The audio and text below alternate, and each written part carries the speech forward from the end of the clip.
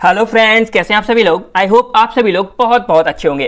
तो मेरा नाम है आकाश कुमार और स्वागत करता हूँ मैं आप सभी के अपने चैनल केयर वेल फार्मा में। तो सबसे पहले तो मैं सॉरी कहना चाहूँगा फ्रेंड्स क्योंकि जिस टाइम पर ये वीडियो अपलोड होनी थी, उस टाइम पर यहाँ रिकॉर्डिंग स्टार्ट हो पा रही है। अब आपको पता है घर घर की छोटी मोटी कहानियाँ हो जाती हैं, कभी कोई इशूज आ जाते हैं लाइट वगैरह खराब, अब हैवी यूट्यूबर तो हम है नहीं जो हमारे पास सारा कुछ होगा। छोटी मोटी हो जाती हैं, पर आप लोग का सपोर्ट रहेगा तो ज़रूर किसी दिन बनेंगे। चलिए तो टॉपिक पर आते हैं तो आज का हमारा टॉपिक है एंटी नियो प्लास्टिक तो हम देख रहे थे अपनी medicinal chemistry second B pharmacy fifth semester बात करें यहाँ पर तो इसकी हमारी जो है यूनिट फ़र्स्ट चल रही थी, और यूनिट फ़र्स्ट में हमारे दो चैप्टर आते थे। पहला हमारा था इसमें एंटी स्टामिनिक एजेंट और दूसरा हमारा इसमें आता है एंटी नियोप्लास्टिक एजेंट तो पहले ही हमने जो वीडियो कवर की थी, दो वीडियो हमने कवर की, जिसमें हमने एंटी स्टेमिनिक एजेंट्स को हमने ऑटो मतलब ऑलरेडी सारा कुछ कवर कर चुके हैं। दो पार्ट्स में तो उन वीडियोस को जाके आप ज़रूर देख सकते हैं। बहुत इंपॉर्टेंट आपको पता है, कोई भी चैप्टर हो, कोई भी मतलब सब्जेक्ट वगैरह हो पहली यूनिट हमेशा बहुत इंपॉर्टेंट होती है। उससे क्वेश्चन भी बहुत ज़्यादा आते हैं और कभी कोई पूछता भी है ना तो पहली यूनिट से सबसे ज़्यादा पूछा जाता है। तो इसलिए पहली यूनिट को आप बिल्कुल भी मिस मत कीजिए। यहीं से आप सीरियस होकर स्टडी को अच्छे से स्टार्ट कीजिए। चलिए तो आज हम लेकर आए हैं एंटी न्यूप्लास्टिक एजेंट और इसमें जो कुछ भी हम आज ही एक ही वीडियो में सारा कुछ कवर करने वाले हैं। तो ऑब्वियसली बात है वीडियो बहुत ज़्यादा लेंदी होने वाली है। लेकिन खुशी की बात यह है कि आज ही आज में ये पूरा जो चैप्टर हमारा एंटी न्यूप्लास्टिक एजेंट्स ये हमारा कंप्लीट हो जाएगा। जितने भी टॉपिक हैं, सबका आपको मैकेनिज्म मिलेगा, सभी ड्रग्स के बारे में मिलेगा यूजेस मिलेंगे और जो कुछ हमारा होता है, सारा कुछ आपको मिलेगा। तो टॉपिक देखते हैं तो एंटी न्यूप्लास्टिक एजेंट्स हमारा कंटेन करता है फाइव पार्ट्स में। पहला हमारा इसमें आता है एल्काइलेटिंग एजेंट्स जिसमें हमारे टोटल यहाँ पर आते हैं सिक्स ड्रग्स है हमारे यहाँ पर।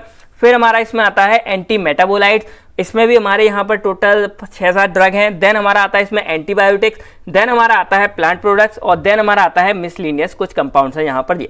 तो देखा जाए तो ये टोटल पाँच और अगर इसकी वीडियो हम सेपरेट बनाते तो पाँच से ज़्यादा ही बनती, पाँच में भी अगर कवर नहीं होती। तो एक लेंदी वीडियो हमारा सही रहता है चॉइस आप लोगों ने भी बोला था, सर लेंदी वीडियो ठीक है, क्योंकि इसमें हम सारा कुछ एक ही में कवर करेंगे, आपको ढूँढने में वगैरह में भी प्रॉब्लम नहीं होगी। बाकी आज की वीडियो को आप लाइक ज़रूर करना, दोस्तों के साथ शेयर करना, देखते हैं कितने लोगों को ये लेंदी वीडियोस पसंद आती हैं। चलिए तो हमारा टॉपिक क्या है? एंटी नियोप्लास्टिक एजेंट तो अब अगर आप नाम से समझ, पहले आप सिंपल एक वर्ड समझो। एंटी नियोप्लास्टिक एजेंट्स की हम सिंपल डेफिनेशन समझे तो ये हमारे वो ड्रग्स या वो दवाएँ होती हैं जो हमारी क्या करती हैं? कैंसर को ट्रीट करने में हेल्प करती हैं। तो अब मैं अगर बताऊँ तो आज की जो वीडियो है ना, बहुत बहुत ज़्यादा इंपॉर्टेंट है। रीज़न क्या है? आज हम पढ़ने वाले हैं कैंसर के बारे में। अब ऐसी कुछ दो चार खतरनाक बीमारियाँ हैं जिनका मतलब इलाज पॉसिबल अब तक तो हो गया है आज के ज़माने में, लेकिन फिर भी इतना मतलब एक्यूरेट या वो नहीं है और बहुत कम चांस होते हैं इसमें बचने के।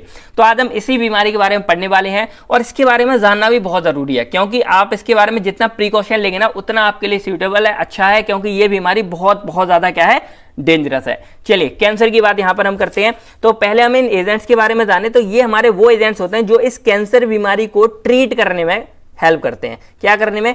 ट्रीट करने में या हम बोल सकते हैं थोड़ा सा बचाने में इससे हमको थोड़ा सा प्रिवेंट करेंगे हमको कैंसर वगैरह से तो इन सब में ये हमारे काम आते हैं। चलिए, अब अगर इस वर्ड से देखें एंटी नियोप्लास्टिक एजेंट तो एंटी वर्ड का मतलब होता है अपोज करना किसी को, और नियोप्लास्टिक का मतलब होता है नियोप्लाज्मा और एजेंट का मतलब होता है ड्रग अब ये जो वर्ड है ना, इसको मैं अभी आपको डिफाइन करूँगा. पहले मैं थोड़ा कैंसर के बारे में बताता हूँ, फिर ये ऑटोमेटिक आप इस चीज़ को समझ जाएँगे कि ये न्यूप्लाज्मा क्या है. चलिए तो आप कहानी समझते हैं. देखो, आप लोगों ने एक चीज़ देखी होगी नोटिस क्या, हमेशा हर बार होता है कि जैसे कोई भी बच्चा जब जन्म लेता है तो वो कितना होता है? छोटा सा होता है, इतना सा. वज़न ढाई तीन किलो का होता है. लेकिन जैसे जैसे वो बड़ा होता जाता, बड़ा होता जाता, उसका वेट भी बढ़ जाता है. और उसका सारा कुछ मतलब वेट हाइट लेंथ सब कुछ उसका बढ़ जाता है। आपने ये चीज़ देखी होगी, हम लोग भी थे, कितने हम छोटे थे। लेकिन आज हम कितने बड़े बड़े हो गए हैं, पाँच पाँच छः छः इंच के हो गए हैं। जब पैदा होते हैं, तब तो इतने नहीं होते ना तो बहुत ज़्यादा छोटे होते हैं। अब आपको एक चीज़ पता होगी, कोई भी जो इंसान है, उसकी सबसे छोटी इकाई क्या है?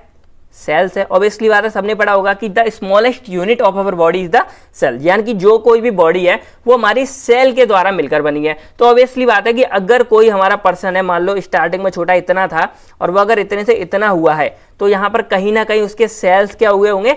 ग्रोथ हुई होगी सेल्स क्या होंगे उसके? सेल्स के जो नंबर्स होंगे वो उसके बड़े होंगे। एग्ज़ाम्पल समझ लो, जब वो मतलब जन्म हुआ था, उसका छोटा सा था, तब मान लो उसके अगर बॉडी में अप्रॉक्स ले लेते हैं मान लो बीस तीस लाख सेल्स थे करीब अप्रॉक्स ले लेते हैं, क्योंकि इसकी कोई गिनती नहीं है, कितने होते हैं, कैसे होते हैं।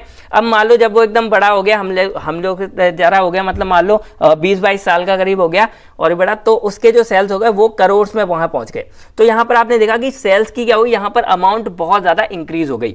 तो यहाँ पर क्या हो रहा है? एक तरह से देखा जाए, किसी भी पर्सन की ग्रोथ के लिए सबसे मेन और इंपॉर्टेंट फैक्टर यहाँ पर क्या निकल के आता हमारा सेल ग्रोथ आ रहा है। क्योंकि स्मॉलेस्ट यूनिट ये है, अगर सेल बढ़ेंगे तो ऑटोमेटिक टिश्यू बढ़ेंगे टिश्यू बढ़ेंगे तो ऑर्गन बढ़ेंगे ऑर्गन बढ़ेंगे तो पूरा सिस्टम बढ़ेगा और सारा कुछ ऑटोमेटिक ऐसे ही हमारे बॉडी सब ग्रोथ करती जाती है।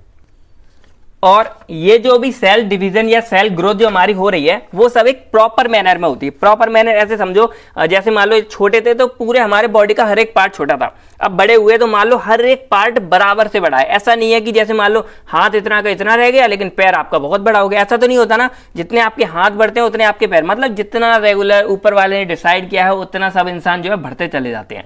तो ये एक रेगुलर मैनर में होता है। यहाँ पर क्या होता है? ये हमारे सेल की ग्रोथ होती है। अब जो हमारी सेल की ग्रोथ होती है, वो कैसे होती है? सेल डिवीज़न के द्वारा होता है। सेल डिवीज़न कैसे? अब आपको पता है कि हम बॉडी में अलग से सेल तो दे नहीं रहे हैं। अब कोई पर्सन है, ये मान लो हाथ है, छोटा था इससे इतना बड़ा हुआ। तो ऐसा तो नहीं हमने अलग से कहीं से इसके और सेल चिपकाए हो? हमारी बॉडी से ही तो डेवलप हो रहे हैं। तो इसी को हम क्या बोलते हैं? सेल डिवीज़न कैसे होता है? कि मान लो एक हमारा सेल था हमारी बॉडी में, अब यही हमारा फर्दर सेल क्या हो जाएगा? सेल डिवीज़न के द्वारा एक से दो बन जाएँगे, फिर इन दो से चार बन जाएँगे यहाँ पर, और इससे करते करते हमारी पूरी बॉडी में जो है, एक सेल से दो बने, दो से चार बने, चार से छह, चार से आठ बने, आठ से सोलह बने तो इस तरह हमारी पूरी बॉडी में जो है सेल की ग्रोथ होती रहती है, और इसी को हम क्या बोलते हैं? सेल डिवीज़न बोलते हैं। तो अब दो बातें पता चल गई। पहली, हमारी बॉडी को ग्रो करने के लिए क्या चाहिए सेल ग्रोथ चाहिए। दूसरी सेल ग्रोथ हमारी होती किससे सेल डिवीज़न के द्वारा होता है। तीसरी, क्या पता लगी कि जो हमारा सेल डिवीज़न होगा, वो हमारा एक कंट्रोल्ड वे में होगा और स्पेशल मैनर्स में होगा। ऐसा नहीं है कि बॉडी का कोई एक पार्ट ही बड़ा हो रहा है, सब जगह मतलब सबकी पूरी दया दृष्टि होती है और हर एक पार्ट जो हमारा डेवलप होता है, हर एक पार्ट हमारा बड़ा होता है। तो इस तरह हमारे यहाँ पर सेल ग्रोथ होती है। अब कैंसर की बात करते हैं कैंसर के एक्चुअल में। तो जैसे ही हमारी पूरी बॉडी है ठीक है, यहाँ पर इसी से काम चला लो, अब मैं कोई आर्टिस्ट तो हूँ नहीं। तो यहाँ पर मान लो हमने कोई एक पार्ट पकड़े, इसका हमने ये हैंड ले लिया।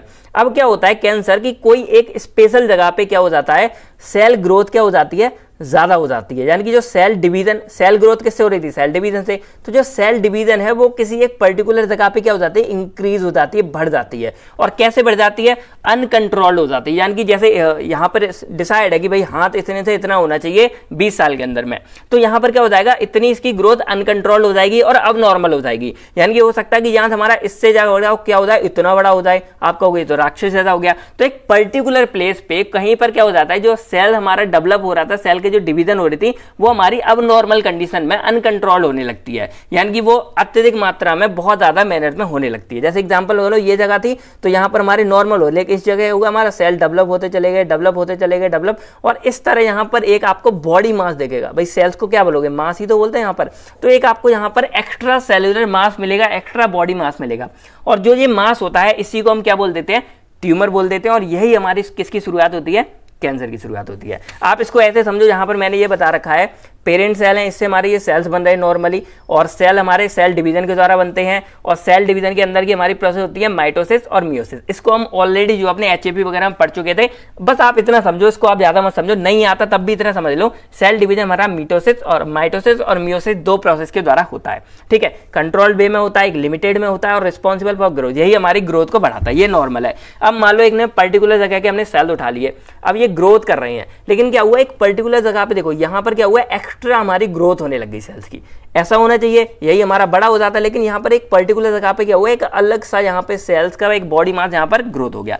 तो इसी को क्या बोलते हैं हम? नियो प्लाज्मा बोलते हैं। यानी कि अगर आप इसको डिफाइन करोगे तो क्या बोलोगे? अब नॉर्मल मास ऑफ़ टिश्यू यानी कि एक छोटे से सेल से मिलकर टिश्यू बना तो एक अब नॉर्मल है जो हमारा किसी पर्टिकुलर जगह पे इस तरह से निकल आता है। अब स्टार्टिंग टाइम पर क्या होता है? ये सॉफ्ट होता है, पकड़ के आप टच करोगे तो हल्का सा आपको फील होगा कि हाँ कुछ है। तो ये हमारा एक नियो कंडीशन में होता है। धीरे धीरे क्या होता है? यही हमारा और ज़्यादा हार्ड हो जाता है, क्योंकि जहाँ भी कैंसर के ये सेल आ गए, हमारा नियो हमारी प्राइमरी स्टेज यानी कि सबसे पहली स्टेज है जब हमारा कैंसर जो डेवलप होने लगता है। तो ये न्यू प्लाज्मा हमारा क्या होगा? बहुत ही ज़्यादा इससे और ज़्यादा ग्रोथ होगी। इसके अंदर हमारे और सेल आने लगेंगे और धीरे धीरे ये हमारे सेल क्या हो जाएँगे? इस तरह के ट्यूमर का रूप ले लेंगे। और ये हमारा ये ट्यूमर होगा, ये हमारा एक हार्ड होगा। आप पकड़ के देंगे बहुत ज़्यादा ठोस लगेगा टाइट सा लगेगा। मतलब एक तरह से सॉलिड हो जाएगा बहुत ज़्यादा। तो ये हमारा कहलाता है ट्यूमर। तो इस तरह से हमारा जो है कैंसर बाद में डेवलप होता है, यानी कि पहले हमारा एक डेवलप होगा नॉर्मल से, एक पर्टिकुलर जगह पे सेल ग्रोथ होने लगेगी न्यूप्लाज्मा बनेगा। फिर इस न्यूप्लाज्मा से क्या हो जाएगा, यहाँ पर एक ट्यूमर सा जनरेट हो जाएगा और यही ट्यूमर हमारा क्या कॉज करता है, फिर कैंसर कॉज करता है।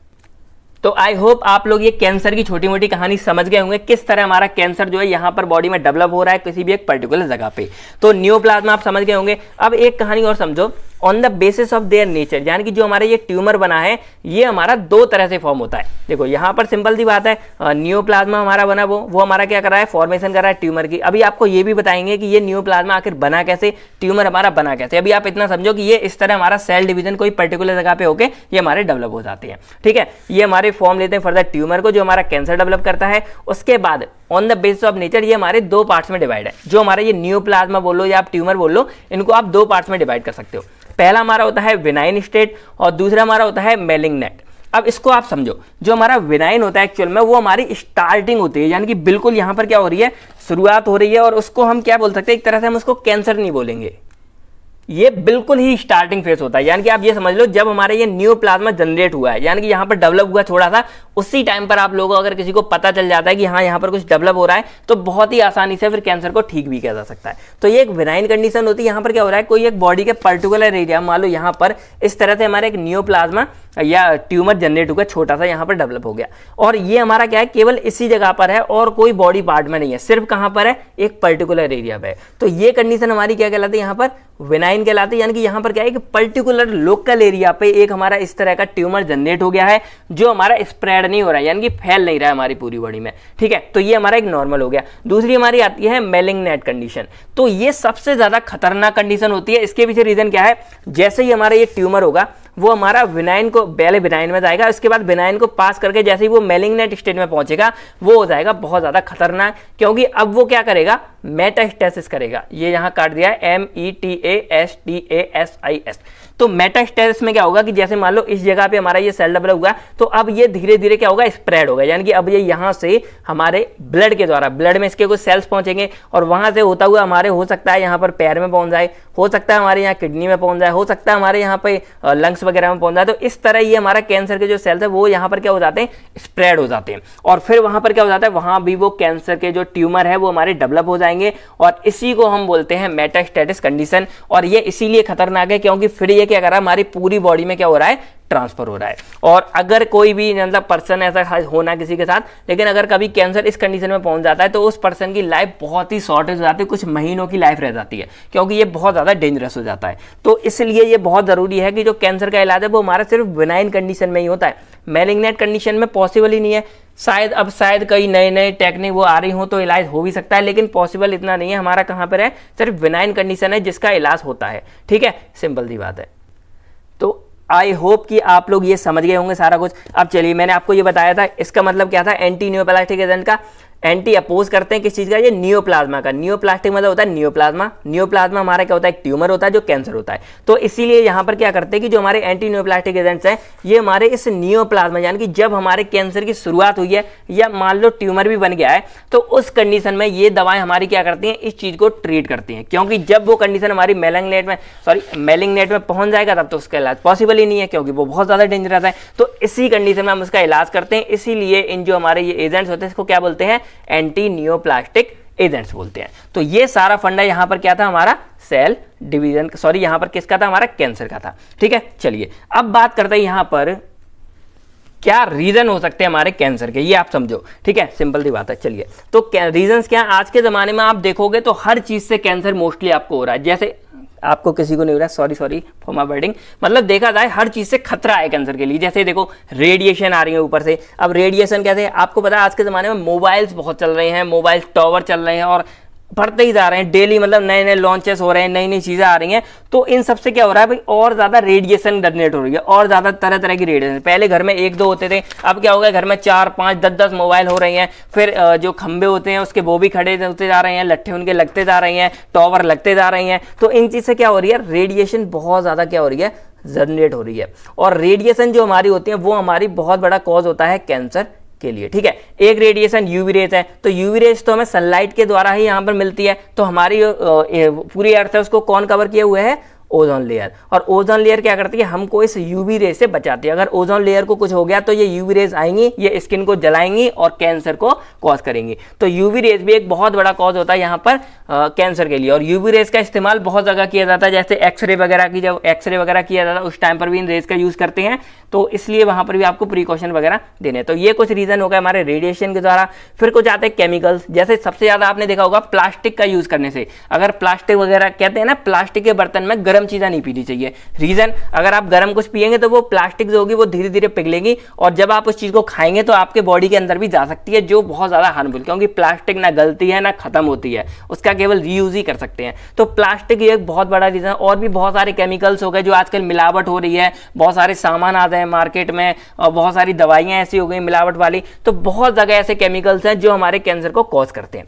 फिर एक बहुत बड़ा रीजन आता है, एक आता है हेरिडिटी यानी कि जेनेटिक अगर आपके पेरेंट्स में किसी को अगर ये हो सकता है तो बहुत ज़्यादा चांस होते हैं कि उसको बच्चों को भी हो सकते हैं। ज़रूरी नहीं कह रहा हूँ मैं, ऐसा नहीं कह रहा कि होगा ही होगा, लेकिन हाँ चांसेस यहाँ पर बहुत ज़्यादा बढ़ जाते हैं। तो अगर कोई भी जैसे रीजन होता है कि आपके पेरेंट्स या कोई फैमिली में ऊपर अगर किसी की हिस्ट्री होती है कि हाँ जेनेटिक में किसी को कैंसर रहा होगा तो बहुत ज़्यादा चांस होते हैं बच्चों में होने के तो प्रिकॉशन ज़्यादा खसें और चेकअप वगैरह टाइम से कराते रहें तो ये सब रीज़न यहाँ पर होते हैं। अब जेनेटिक के पीछे रीज़न क्या होता है? देखो, एक हमारे होते हैं बॉडी में ऑंको जीन्स प्रेजेंट होते हैं और इसमें दो तरह के जीन्स आते हैं ऑंको सप्रेसर जीन्स और ऑंको स्टिमुलेटेड ऑंको वर्ड का मतलब आता है कैंसर वाला। तो जो हमारे ऑंको सप्रेसर जीन्स होते हैं, ये क्या करते हैं? हमारे कैंसर की चीज़ों को क्या करते हैं? थोड़ा सा कम करते हैं कैंसर के सेलों को कम करते हैं। अब अगर किसी वजह से ये ऑंको सप्रेसर जो जीन्स है, वो हमारे अगर कम हो जाते हैं तो ये कैंसर को बढ़ाएँगे। अब जिनमें जेनेटिक मतलब जो मान लो जेने, ऊपर से आए भाई जीन्स वगैरह हमारे अंदर तो ऑब्वियसली बात है, अगर किसी को फैमिली में कैंसर रहा होगा तो उनसे जो हमारे अंदर जीन्स आएँगे, उसमें ये चीज़ हमारी ऑटोमेटिक कम आती है। तो यही रीज़न है कि उनको जो कैंसर होने के चांस होते हैं, वो थोड़े बहुत बढ़ जाते हैं। ऐसे कोई खतरे वाली बात नहीं होती है, लेकिन हाँ प्रिकॉशन आपको ज़रूर देनी है। फिर आपने बहुत ज़्यादा देखे होंगे बीड़ी गुटखा, पान, मसाला, कोबेर, इन सब पे इतने बड़े बड़े में इतने गंदे गंदे मुँह बने होते हैं, यहाँ खाने से इसको कैंसर हो जाता है, फिर भी लोग उसको खाते हैं। तो इन सबसे भी बहुत बहुत ज़्यादा सेफ्टी करनी है। और अगर कोई ऐसी आदत में है तो प्लीज़ छुटकारा कर दो। इन सबसे बच जाओ। अक्षय कुमार हर मूवी में बोलता है प्लीज़ प्लीज़ बचाव करो इन सब चीज़ों से। ठीक है तो ये कुछ हमारे रीजंस हो सकते हैं। ठीक है, चलिए। अब हम कुछ और बातें जानते हैं। कैंसर की लास्ट फिर हम इसके ट्रीटमेंट और टाइप्स को देखेंगे। तो देखो नॉर्मली हमारे क्या हो रहे हैं? जिसमें हमारी क्या हो जाती है? अब नॉर्मल और अनकंट्रोल सेल डिवीज़न होने लगती है। जैसे मान लो यहाँ से एक सेल था तो हमें वैसे बता था एक से दो सेल बनते हैं, लेकिन इस कंडीशन में हो सकता है एक से चार भी बन जाए, एक से तीन भी बन जाए, और ज़्यादा बने, एक से दो बने, दो से चार बने, बहुत जल्दी स्पीड में भी यहाँ पर जनरेट होने लगते हैं। तो ये भी हमारे कई ज़्यादा रीज़न हो जाते हैं। कैंसर में आपको इतनी ज़्यादा डिटेल में इसलिए बता रहा हूँ क्योंकि कैंसर बहुत मतलब इसके बारे में जितना आप नॉलेज ले लेंगे, वो आपके लिए रियल लाइफ में भी बहुत ज़्यादा यूजफुल रहता है। ठीक है? चलिए तो वही इसका ग्रोथ हमारी मतलब प्रॉपर वे में नहीं होती है। सेल डिवीज़न अनकंट्रोल हो जाता है। मेटास्टेसिस होती है, यानी कि जो हमारे कैंसर है, वो स्प्रेड होने लगता है अलग अलग पार्ट्स में। और एक और ज़रूरी बात जो मैं आपको बताना बोलिए वो क्या है? नो अपोप्टोसिस यानी कि आपको पता है, हमारी बॉडी में क्या होता है? सेल्स होते हैं, वो हमारे सेल डिवीज़न होते हैं जनरेट होते हैं ग्रो और जो पुराने सेल्स होते हैं, वो हमारे क्या हो जाते हैं, वो मरते रहते हैं. यानी कि उनकी क्या होती है? अपॉप टॉसिस अगर आपको याद हो, आपने पैथो वगैरह में पढ़ा होगा अपोप्टोसिस नेक्रोसिस ये आपने पढ़े थे, इसमें क्या होता है? सेल की मतलब डेथ होती रहती है। तो यहाँ पर बैलेंस बना रहता है। बैलेंस क्या होता है? नए सेल बन रहे हैं, पुराने हमारे मरते जा रहे हैं। तो एक यहाँ पर सर्कल बैलेंस बना रहता है हमारी बॉडी में। लेकिन इसमें क्या हो जाता है कि अगर कोई पर्टिकुलर जगह पे क्या हो गया कैंसर हो गया, इस जगह पे कोई ट्यूमर निकल आया तो इस जगह के जो हमारे पुराने ओल्ड सेल्स हैं, उनका जो मरना होता है, यानी कि अपोप्टोसिस की क्या हो जाती है? बंद हो जाती है। तो इसकी वजह से भी क्या हो जाता है, वहाँ पर हमारी सेल्स की अमाउंट बहुत बहुत ज़्यादा बढ़ जाती है। तो ये भी कुछ रीज़न यहाँ पर हो जाते हैं, जिसकी वजह से हमारा सेल जो है यहाँ पर बहुत ज़्यादा अमाउंट में हो जाता है और वो एक ट्यूमर का रूप ले लेता है, यानी कि एक बहुत बड़े मास का रूप ले लेता है यहाँ पर। चलिए, अब बात करते हैं कैंसर के कुछ टाइप्स की। तो वैसे देखा जाए तो कैंसर बहुत तरीके के मतलब इसी के हैं, ऐसा डिज़ीज़ है, जिसके बहुत ज़्यादा टाइप्स हैं। जैसे एग्ज़ाम्पल समझो, अगर लंग्स में हो गया तो लंग्स कैंसर ब्रेस्ट में हो गया तो ब्रेस्ट कैंसर टेस्टिस में हो गया testis cancer prostate cancer skin cancer blood cancer और अंदर और हो गया तो ल्यूकेमिया और और भी मतलब बहुत ज़्यादा, जितने पार्ट्स में बॉडी के हो सकता है, उतने ज़्यादा इसको हो सकता है। तो यहाँ पर मेन यहाँ पर कुछ लिखे हैं, उनको मैं आपको बताता हूँ। जैसे पहला मारा आता है यहाँ पर कार्सिनोमोसत तो इसमें क्या होता है कि जैसे स्किन है और स्किन के नीचे कोई चीज़ मतलब स्किन ने कवर कर रखी है। तो वो वाले जो पार्ट हैं, उसमें जो कैंसर आते हैं, वो हमारे इस वाली क्लास के अंदर आ जाते हैं। जैसे ब्रेस्ट कैंसर है, एक स्किन और स्किन के अंदर के ग्लैंड वगैरह में हो जाता है। फिर प्रोस्टेट कैंसर ये भी हमारा स्किन से रिलेटेड है। फिर लंग्स कैंसर होता है, ये भी हमारे स्किन और स्किन के अंदर जो हमारे ग्लैंड है, जो हमारे सिस्टम है, उसके अंदर हो रहा है। फिर कोलोरेक्टल कैंसर है, जो रेक्टल एनल वगैरह में यहाँ पे हो जाता है। तो ये कुछ कैंसर है, जो हमारे कार्सिनोमस के अंदर आते हैं।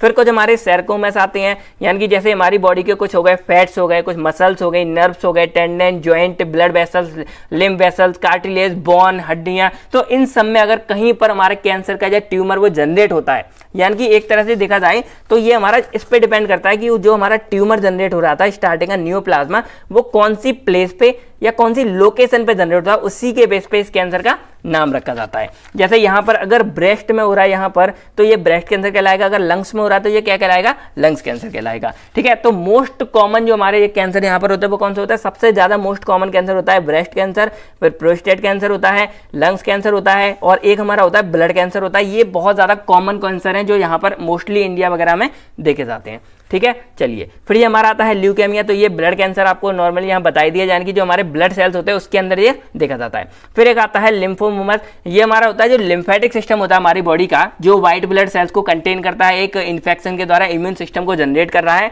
तो इसके अंदर अगर कहीं पर कोई इन्फेक्शन वगैरह हो जाता है तो ये हमारे यहाँ पर कहलाते हैं लिम्फोफोबस कैंसर कहलाते हैं, ठीक है? तो ये हमारे चार तरह के बेसिकली हो गए, और वैसे आप इसको और भी ज़्यादा कोई भी मतलब कहीं आता है तो एग्ज़ाम्पल में आप बहुत ज़्यादा लिख सकते हैं, जैसे ईसोफेगल कैंसर हो गया, फिर लंग्स कैंसर हो गया मतलब आप लोकेशन के बेस पर भी बहुत ज़्यादा कैंसर के टाइप लिख सकते हैं। तो ये सब तो हमारा हो गया टोटल कैंसर के बारे में।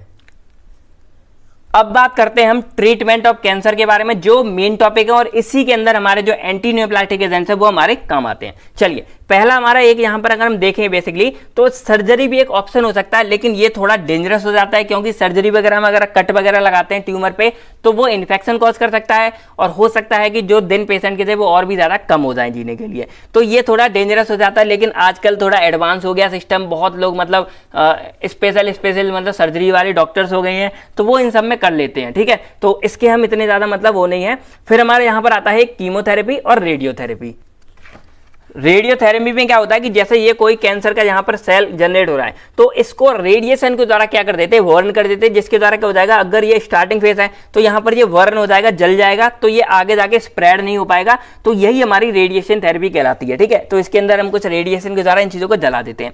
इसके थोड़े साइड इफ़ेक्ट भी होते हैं, जैसे अब मान लो ये हमारा मेन है कैंसर का, बाकी हमारे नॉर्मल है तो अगर इस पर हम रेडिएशन डालेंगे तो इसके साथ ये भी तो सेल जलेंगे तो इससे क्या हो जाती है, थोड़ी बहुत मतलब साइड इफ़ेक्ट भी आपकी बॉडी में भी थोड़ी थोड़े बहुत लॉस हो सकते हैं। तो ये हमारे यहाँ पर क्या कहलाते हैं? रेडियोथेरेपी वाला सिस्टम है। फिर हमारे आते हैं कीमोथेरेपी तो इसी को मोस्टली जो है सेफेस्ट माना गया है इन सभी में। क्योंकि इसमें क्या होता है, इसमें केमिकल्स और दवाइयों के द्वारा जो है हमारे कैंसर सेल्स को खत्म किया जाता है। लेकिन ये भी हमारे लिए डेंजरस है क्योंकि इनके भी कुछ साइड इफ़ेक्ट हमारी बॉडी में देखने को मिले हैं। जैसे नोजिया हो गया वॉमिटिंग हो गया और कभी कभी कुछ सीवियर मतलब सीवियर जो ज़्यादा डेंजरस वाले साइड इफ़ेक्ट भी देखने को मिलते हैं। तो ये सब नॉर्मल चीज़ें हैं, लेकिन इलाज तो करना ही है। तो चलिए केमोथेरेपी के अंदर हमारे क्या आते हैं, यहाँ पर एंटी न्योप्लास्टिक एजेंट ठीक है? चलिए तो एंटी न्यूप्लास्टिक एजेंट्स हमारे एक स्पेशलाइज तरह के ड्रग होते हैं, जिनका हम यूज़ करते हैं कैंसर के लिए, और इनका पहले जो यूज़ किया गया था, सबसे पहले वो 1940 शताब्दी में यूज़ किया गया था। उसके बाद बात करें यहाँ पर तो ये कैंसर सेल को डिस्ट्रॉय तो कर सकते हैं, लेकिन इनके कुछ साइड इफ़ेक्ट भी है, जैसे नोजिया हेयर लॉस वालों का, और सबसे ज़्यादा जैसे ब्लड प्रेशर एकदम लो हो जाता है वहाँ पर, फिर माउथ में अल्सर्स वगैरह से हो सकते हैं। तो ये कुछ साइड इफ़ेक्ट हैं, जो जनरल एंटी न्यूप्लास्टिक एजेंट्स के देखने को मिलते हैं। ठीक है फ्रेंड चलिए। अब साइड इफ़ेक्ट आके देखने को मिलते क्यों है? क्योंकि रीजन जो हमारे एंटी न्यूप्लाटिक एजेंट्स होते हैं, ये एक्चुअल में साइटोटॉक्सिक एक्शन प्रोवाइड करते हैं, या हम कह सकते हैं साइटोटॉक्सिक होते हैं नेचर में। अब ये साइटोटॉक्सिक का मतलब आप क्या समझेंगे? देखो साइटोमर्ड यहाँ सेल से आ रहा है टॉक्सिक का वर्ड आप क्या समझ रहे हैं? डेंजरस थोड़े जहरीले। रीजन क्या है? क्योंकि एंटी न्यूप्लास्टिक का काम ही क्या है कि ये हमें इसे सेल्स को ही तो मारना है। आप बेसिकली समझो हमें क्या यहाँ पे करना होता है। इसका मैकेनिज्म अगर हम समझे तो देखो, ये हमारा सेल है, इसकी सेल डिवीज़न हो रही है, और वो एक अनकंट्रोल और अब नॉर्मल मैनर में हो रही है, जो फर्दर क्या कर रही है, एक न्यू प्लाज्मा का लूप ले रही है, उसके बाद वो एक ट्यूमर जनरेट कर रही है। ये नॉर्मल फ़ंक्शन है। तो जो हम एंटी न्यूप्लास्टिक एजेंट लेते हैं, इसका काम क्या होता है कि ये इस सेल डिवीज़न को रोकेगा। दो तरह से या तो इस सेल डिवीज़न को रोकेगा, और साथ में जो हमारे ये सेल्स हैं, इसको क्या करेगा? किल करेगा, यानी कि सेल डेथ भी करेगा, यानी कि जिसको हम क्या बोलेंगे? अपॉप्टोसिस करेगा। तो दो चीज़ें हो रही थी। एक हमारा सेल जो क्या हो रहा था? सेल डिविजन हो रही थी और इसकी वजह से क्या हो रहा था? सेल में ग्रोथ हो रही थी। दो चीज़ें हो रही थी और एक हमारे यहाँ पे क्या हो रहा था? जो हमारी अपॉप्टोसिस है, यानी कि जो सेल की डेथ है, वो हमारी रुक गई थी। तो ये इन दोनों ही काम को बढ़ाता है। एक क्या करेगा, जो सेल डिवीज़न रेट इसको रोकेगा और हो सकता है कि जो हमारे सेल्स है उसको किल भी करेगा। एक हमारी जो अपोप्टोसिस है, इसको इंक्रीज करेगा। यानी कि जो सेल डेथ रुक गई थी उन सेल्स की कैंसर सेल्स की, उनको क्या करेगा, ये थोड़ा सा इंक्रीज करेगा। तो इस तरह ये हमारे एंटी न्यूप्लास्टिक एजेंट्स काम करते हैं। अब देखो, यहाँ पर क्या है कि ये भाई सेल को किल भी करेंगे और सेल को अगर कोई मारेगा तो थोड़ा सा डेंजरस तो होगा। सेल को मार रहा है, अब हो सकता है कि जो कैंसर के सेल है, उसके साथ साथ जो नॉर्मल बॉडी के सेल्स है, वो भी डैमेज होंगे। ऑब्वियसली बात है भाई गेहूँ के साथ घुन तो पिसते ही पिसते हैं। तो अगर नॉर्मल चीज़ें डाली जाएँगी जैसे एग्ज़ाम्पल के लिए देखो, अगर कभी लड़ाई वगैरह होती है, आपकी किसी की हो जाती है कॉलेज स्कूल में तो कहते हैं, भाई, मैंने उसके चार घुसे मारे। तो कहता है, एक तो तूने भी खाया होगा। तो यहाँ पर देखो, आपने मारा, लेकिन एक दो घुसे तो आपके भी लग जाते हैं। तो ये नॉर्मल फाइट में चलता रहता है। तो उसी तरह यहाँ पर क्या है कि अपनी बॉडी में भी थोड़ा बहुत नुकसान होता है। अपनी बॉडी के सेल्स भी थोड़े बहुत मरते हैं कैंसर सेल के साथ में। तो ये हमारे साइटोटॉक्सिक नेचर के होते हैं, यानी कि थोड़े से जहरीले होते हैं, जो सेल्स को मारने की दम रखते हैं। ठीक है? चलिए तो ये मैंने आपको नॉर्मल मैकेनिज्म बता दिया। पूरे के पूरे एंटी न्यूप्लाटिक एजेंट्स का क्या मेन काम है कि ये सेल डिवीज़न को कैसे भी रोकेंगे? या तो सेल डिवीज़न को रोकेंगे या अपोप्टोसिस को बढ़ाएँगे। ये इनका क्या हो गया? मेन काम हो गया। अब समझते हैं हम इसकी क्लासिफिकेशन को। यानी कि अब हमारे लिए क्या हो गया? देखो, वो मेन मैकेनिज्म हो गया। लेकिन ये एंटी न्यूप्लास्टिक एजेंट्स के अंदर बहुत सारे ऐसे ड्रग्स आते हैं जिनके बारे में हमको सारा कुछ जानना होता है। ठीक है? चलिए तो इनको एक और बात बता दूँ एंटी कैंसर ड्रग्स भी बोलते हैं तो इसमें कंफ्यूज नहीं होना, कहीं कुछ लिखा हो। चलिए तो बेसिकली ये यहाँ पर जो हमारे सिलेबस है, मैं यहाँ पर एक चीज़ और लिख देता हूँ क्लासिफिकेशन के साथ में अकॉर्डिंग टू सिलेबस रीजन क्योंकि कई जगह हो सकता है कि ये हमारे डिफर करें, कुछ चीज़ें एक्स्ट्रा क्लासेस जुड़ी हो, कुछ हमारी एक्स्ट्रा क्लासेस नहीं हो। तो इसलिए यहाँ पर मैं ये ज़रूर लिख देता हूँ अकॉर्डिंग टू सिलेबस यानी कि जो हमारे अभी सिलेबस में, उसके अकॉर्डिंग हमारे ये पाँच टास्क में डिवाइड है। पहले हमारे आते हैं यहाँ पर एल्काइलेटिंग एजेंट जिसके अंदर फर्दर हमको यहाँ पर जो है टोटल छह ड्रग्स देखने हैं। फिर हमारे यहाँ पर आते हैं एंटी मेटाबोलाइट्स आते हैं, और इसके अंदर भी हमको कितने देखने हैं? यहाँ पर सेवन टोटल ड्रग्स हैं। देन हमारे यहाँ पर आते हैं एंटीबायोटिक्स थर्ड क्लास है, जिसमें हमें चार ड्रग्स देखने हैं। फिर हमारे आते हैं प्लांट प्रोडक्ट्स तीन ड्रग देखने हैं। देन हमारे आते हैं मिसलिनियस कंपाउंड दो ड्रग देखने हैं। तो अब जो हमारा मेन काम है, यानी कि जो मैकेनिज्म होगा, हर एक क्लास का वो हमारा अलग अलग होगा, उसको हम देखेंगे। फिर इन सभी ड्रग्स के बारे में भी हम यहाँ पर देखते जाएँगे, ठीक है? चलिए तो यहाँ पर स्टार्ट करते हैं। तो पहला हमारे यहाँ क्लासिफिकेशन किसका आता है? एल्काइलेटिंग एजेंट्स का आता है। ठीक है फ्रेंड चलिए तो इसका अगर देखें तो देखो मैंने यहाँ पर ये इसलिए लाइन लिख रखी है क्योंकि अगर कभी सेपरेटली पूछा जाता है कि एल्काइलेटिंग एजेंट्स के बारे में लिखो तो आ, मैं अगर यहाँ से लिखता कि दी ड्रग बाइंड कोवेनेंटी तो आप डायरेक्टली इसको लिखते लेकिन ये हमारा ये लाइन भी आपको लिखना ज़रूरी है अगर कभी अलग से क्वेश्चन आता है जैसे आपके सामने आया कि एल्काइलेटिंग एजेंट्स के बारे में लिखो तो आपको एक लाइन और लिखनी पड़ेगी कि those these are those agent which comes under the class of anti neoplastic और एंटी कैंसर ड्रग यानी कि ये हमारे वो ड्रग्स हैं जो हमारे एंटी न्यूप्लास्टिक और एंटी कैंसर ड्रग के अंदर आते हैं फिर आपको इसका जो है मैकेनिज्म और काम लिखना पड़ेगा, ठीक है? तो अगर कभी सेपरेटली पूछा जाता है एग्ज़ाम वगैरह में कहीं पे तो आपको ये चीज़ें भी लिखनी है। और एक और बात मैं बता दूँ कि जैसे ये हमारे ड्रग्स हैं तो इसका एक मैं यहाँ कॉमन मैकेनिज्म आपको बताऊँगा। फिर जो ये हमारा कॉमन मैकेनिज्म है, यही हमारा सेम मैकेनिज्म जो इस क्लास के अंदर हमारे ड्रग्स आते हैं, उन ड्रग्स पर भी यही हमारा फॉलो होता है, ठीक है? तो इसका जो मैकेनिज्म है, वो हमारा इन क्लास के सभी ड्रग्स पे फॉलो होता है। तो अगर कभी जैसे एग्ज़ाम आता है तो ये नहीं पूछेगा ये भी आ सकता है कि एल्कालेटिंग एजेंट उसका मैकेनिज्म बताओ, लेकिन कई बार ऐसा आ सकता है, आपके सामने क्वेश्चन आए कि हमको macro sorry mechlorethamine का आपको क्या लिखना है? मैकेनिज्म ऑफ़ एक्शन अब तो वहाँ पर दो लाइन आपको मैकेनिज्म लिखेंगे तो आप उसको लिख देंगे। ऐसा नहीं है, आपको अगर ये लॉन्ग में आता, मान लो दस या पंद्रह नंबर में आ गया तो आपको क्या करना है? इसके बारे में सारा कुछ लिखना है। फिर आपको बताना ये हमारा एल्कालेटिंग एजेंट्स के अंदर क्लास में आता है। देन आपको जो है इसका मैकेनिज्म बताना है, कौन सा वाला? जो हम यहाँ पर मैकेनिज्म देखेंगे एल्कालेटिंग एजेंट्स का। बस आपको यहाँ एल्कालेटिंग एजेंट की जगह क्या पुट कर देना है? मी क्लोरो इथा पुट कर देना है। ठीक है? चलिए तो इसी तरह हम हम समझते हैं कॉमन अपना एल्कालेटिंग एजेंट्स के बारे में।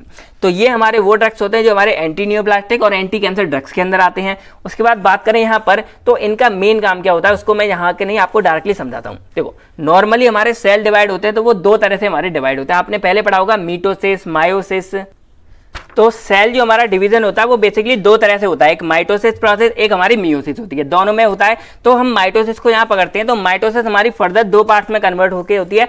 एक हमारी इसमें आती है कैरियोकाइनेसिस और एक हमारी आती है साइटोकाइनेसिस। इसको हम ऐसे समझते हैं लेट करो, ये हमारा सेल है यहाँ पर, और इसके अंदर हमारे यहाँ न्यूक्लियस भी प्रेजेंट होता है। तो अब अगर एक सेल से दो सेल यहाँ पे हमारे जनरेट होते हैं तो न्यूक्लियस जो हमारा अंदर का पार्ट है, ये भी तो हमारा फर्दर डिवाइड होता है ना? ऑब्वियसली बात है। तो यहाँ पर ये होगा। तो जो इसकी हमारी डिवीज़न होती है सेल की, ये हमारी बेसिकली दो पार्ट में होती है। पहले हमारा होता है यहाँ पर कैरियोकाइनेसिस। और कैरियोकाइनेसिस में क्या होगा जो हमारा ये न्यूक्लियस है कैरियोमर्ड जहाँ पे डिनोट किया जाता है न्यूक्लियस से। तो जो हमारा ये न्यूक्लियस है, इसकी हमारी क्या होती है, सबसे पहले क्या होती है, डिवीज़न होती है। तो क्या होगा, ये हमारा बड़ा हो जाएगा और इसके अंदर हमारे धीरे धीरे क्या हो जाएँगे, एक न्यूक्लियस से दो। मैंने एक ही में आपको करके दिखा दिया तो एक से हमारे यहाँ पर क्या हो जाते हैं, दो न्यूक्लियस बन जाते हैं। और एक और बात को अगर गौर करेंगे तो न्यूक्लियस के अंदर हमारे क्या होते हैं, जेनेटिक मेटेरियल होते हैं। तो ऑब्वियसली बात भाई दो अगर न्यूक्लियस अलग अलग बन रहे हैं तो इसके अंदर के जो जेनेटिक मेटेरियल है, वो भी तो आपस में डिवाइड हो जाएँगे ना तो वो होता है कि यहाँ पर जो हमारा डीएनए आरएनए ये भी हमारे क्या हो जाते हैं, अलग अलग दोनों न्यूक्लियस में बन जाते हैं। अगर हमारे न्यूक्लियस ही नहीं बनेंगे तो इन न्यूक्लियस सॉरी अगर हमारे ये डीएनए या जो जेनेटिक मेटेरियल है, यही हमारा डिवाइड नहीं होगा तो न्यूक्लियस डिवाइड होने का मतलब ही नहीं है। तो पहले हमारे क्या होते हैं, यहाँ पर न्यूक्लियस जो हमारे अंदर के वो हमारे क्या होते हैं, यहाँ पर डिवाइड होते हैं। और न्यूक्लियस के अंदर जो हमारे डीएनए और आरएनए इनका क्या होता है रेप्लीकेशन होता है। यानी कि एक से, एक हमारे डीएनए से दूसरा डीएनए यहाँ पे फॉर्म हो जाता है। देन हमारी यहाँ पर होते हैं साइटोकाइनेज अब क्या हो जाएगा, जो हमारा ये साइटोप्लाज्मा है पूरा, ये भी हमारा अलग हो जाएगा और एक हमारा ये इस तरह आ जाएगा, ये न्यूक्लियस और एक हमारा ये आ जाएगा, ये न्यूक्लियस और इसके अंदर हमारे क्या होंगे, ये डीएनए फॉर्म हो जाएँगे। तो इस तरह हमारी जो है नॉर्मल यहाँ पर क्या होती है सेल डिवीज़न होती है। ये मैंने आपको यहाँ पर दिखा दिया है न्यूक्लियस इस तरह हमारा बनेगा। ये नोट्स वगैरह मैं आपको सब प्रोवाइड कर दूँगा, आपको वेबसाइट वगैरह पे या कुछ टाइम बाद आपको ये सारा कुछ अवेलेबल हो जाएगा। अभी बस आप अच्छे से समझ लो, अगर आपका कंसेप्ट क्लियर हो जाएगा तो आप सारे काम ऑटोमेटिक कर सकते हैं।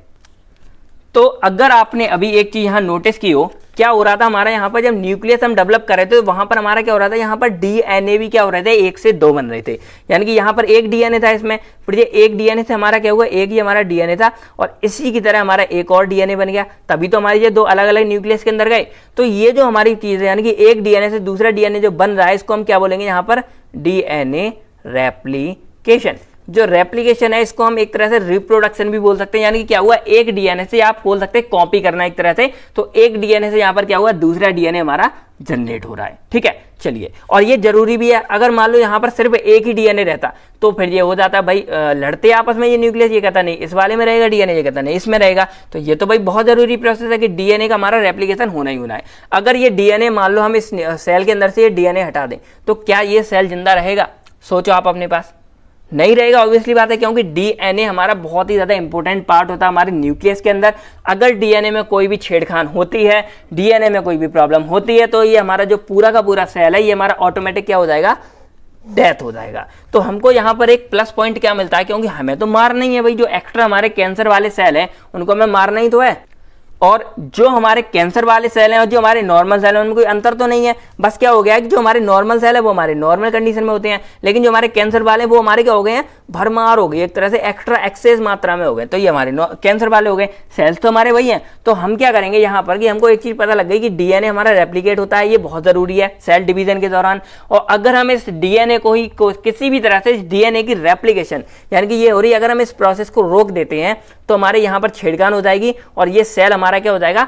डेथ हो जाएगा और ये हमारा फर्दर जो हमारे यहाँ पर डिवीज़न होता है, ये इसकी डिवीज़न क्या हो जाएगी?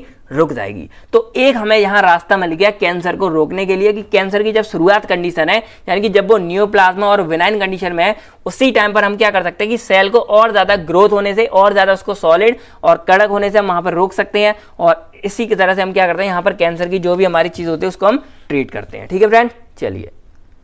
तो अब आपको एक चीज़ पता लग गई कि अगर हम डीएनए की रेप्लीकेशन को ब्लॉक कर दें, रोक दें तो हमारे क्या हो जाएगा? यहाँ सेल ग्रोथ ऑटोमेटिक रुक जाएगी। तो बस यही काम हमारे क्या करते हैं? यहाँ पर एल्कालेटिंग एजेंट्स करते हैं। इनका काम क्या होता है कि जो हमारी डीएनए की रेप्लीकेशन हो रही है, उस चीज़ को हमारे जो एल्कालेटिंग एजेंट्स है, ये क्या कर देते हैं? ब्लॉक कर देते हैं। और जैसे ही हमारी डीएनए की रेप्लिकेशन ब्लॉक हो जाती है, हमारा जो सेल यहाँ पर सेल एक तरह से हमारे डीएनए में कोई छेड़खान हो गई तो एक तो हमारा सेल पूरा मर जाएगा, या सेल हमारा इनएक्टिव हो जाएगा, और ये हमारा फर्दर क्या होगा, यहाँ पे हमारा डिवीज़न नहीं कर पाएगा। और जब सेल एक से दो नहीं बनेगा तो ऑटोमेटिक सेल मर ही जाएगा। तो ये हमारा बहुत ही यहाँ अच्छा काम यहाँ पर होता है। तो ये हमारे एल्कालेटिंग एजेंट्स क्या करते हैं, इनके पास इतनी एबिलिटी होती है कि ये हमारे डीएनए की रेप्लीकेशन को ब्लॉक कर सकते हैं। ये आपको पता चल गया? चलिए अब हम थोड़ा, देखो, आपको देसी भाषा में सारा मैकेनिक पता लग गया। अब हम थोड़ा ना सिस्टमेटिक तरीके से समझते हैं कि आखिर ये जो हमारे एजेंट्स है, ये काम कैसे कर रहे हैं। तो देखो, एक बात बता दूँ, जो हमारे एल्कालेटिंग एजेंट्स है, ये मोस्टली हमारे नाइट्रोजन मस्टर्ड के क्या होते हैं डेरिवेटिव तो हम इसी के बेस पे जो है सारा को समझने वाले हैं कि कैसे हमारे एल्कालेटिंग एजेंट जो है काम करते हैं।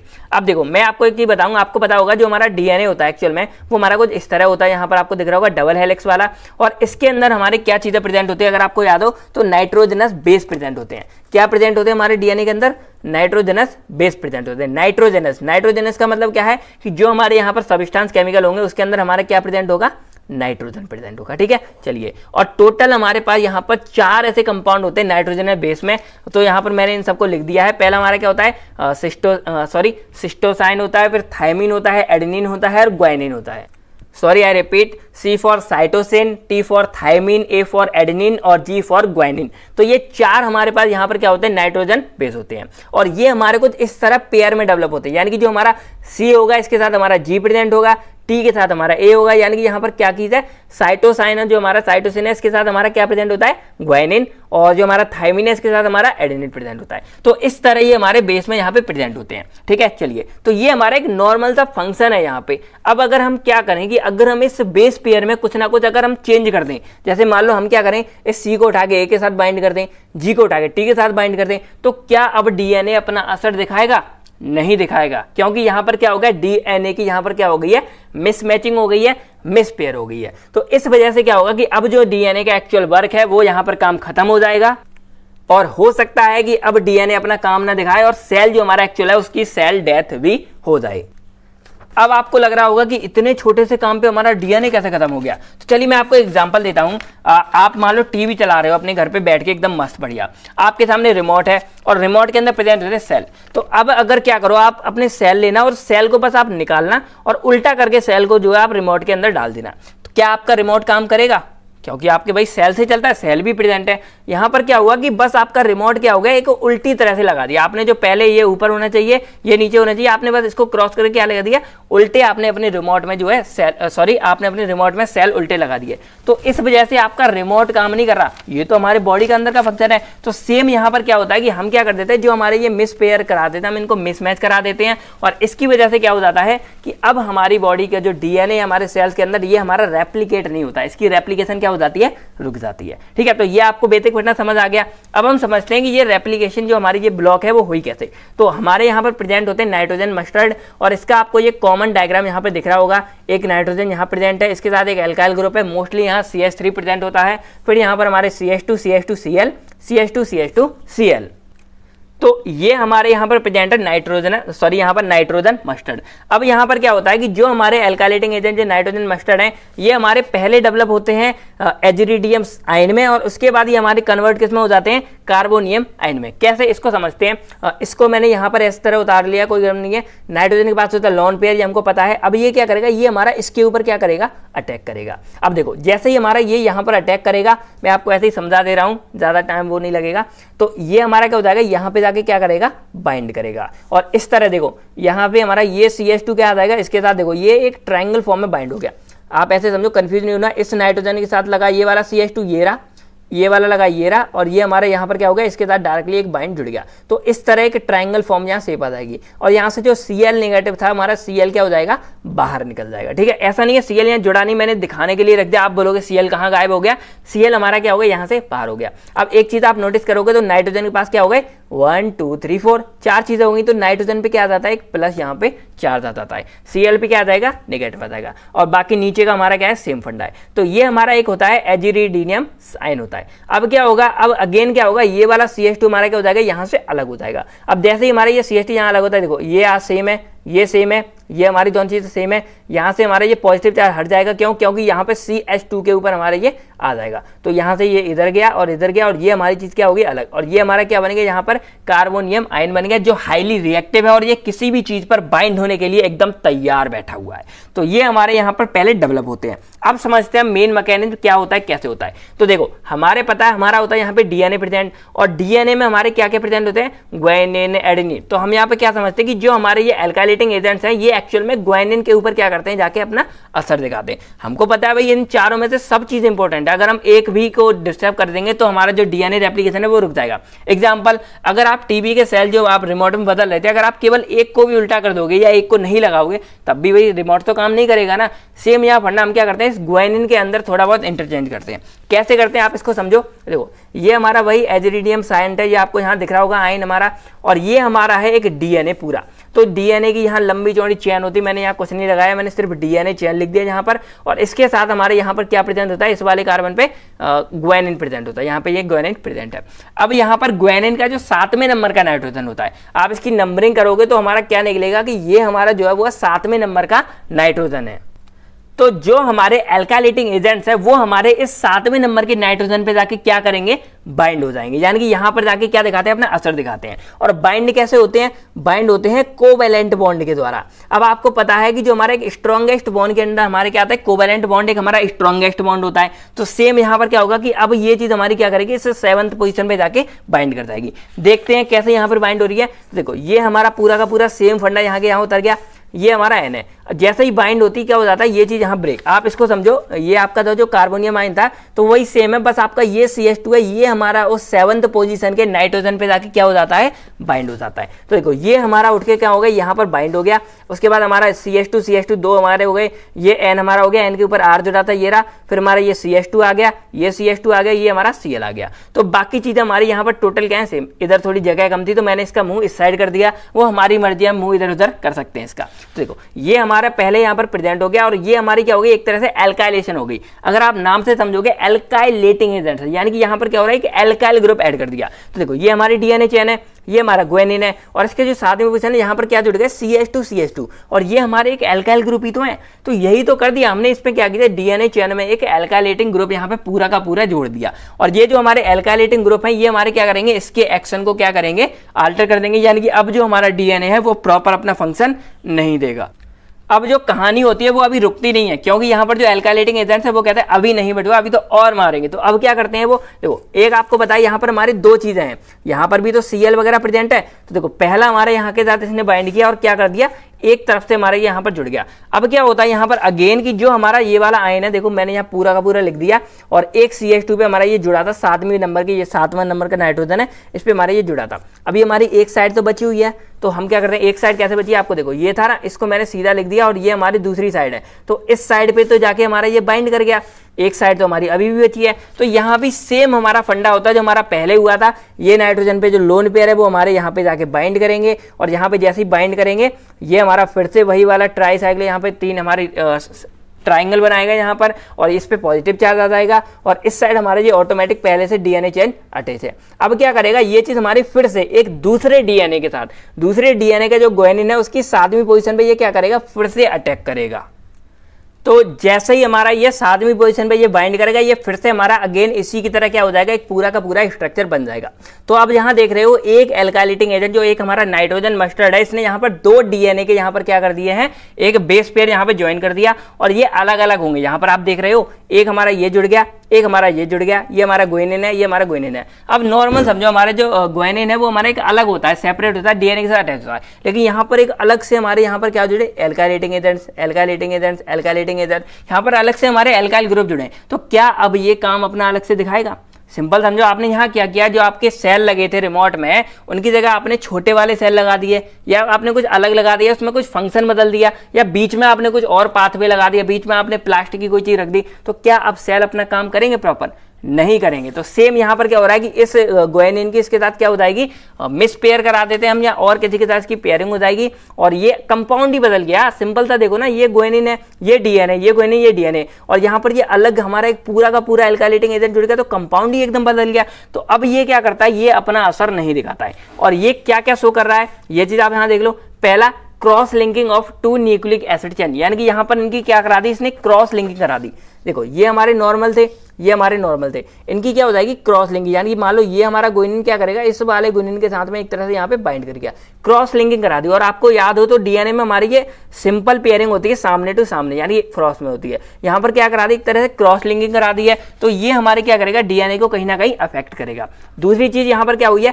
अब नॉर्मल बेस पेयरिंग हो गई। यानी कि जो हमारी ये अब नॉर्मली तो है भाई। नॉर्मली ऐसे पेयर होती है, लेकिन यहाँ गोइनिन की गोइनिन के साथ एक तरह से पेयरिंग हो गई। अब गोइनिन की किसके साथ होती है? यहाँ पर किसकी होता है साइटोसिन के साथ होती है। और यहाँ पर साइटोसिन की ग्विनिन के साथ होती है। यहाँ पर क्या होगी कि अब नॉर्मल करा दी। यानी कि यहाँ पर किसकी गई ग्विनिन और ग्विनिन की हो गई। ये हमारी यहाँ पर पॉसिबल ही नहीं है। तो यहाँ पर डीएनए का फिर से हमारा स्ट्रक्चर क्या हुआ?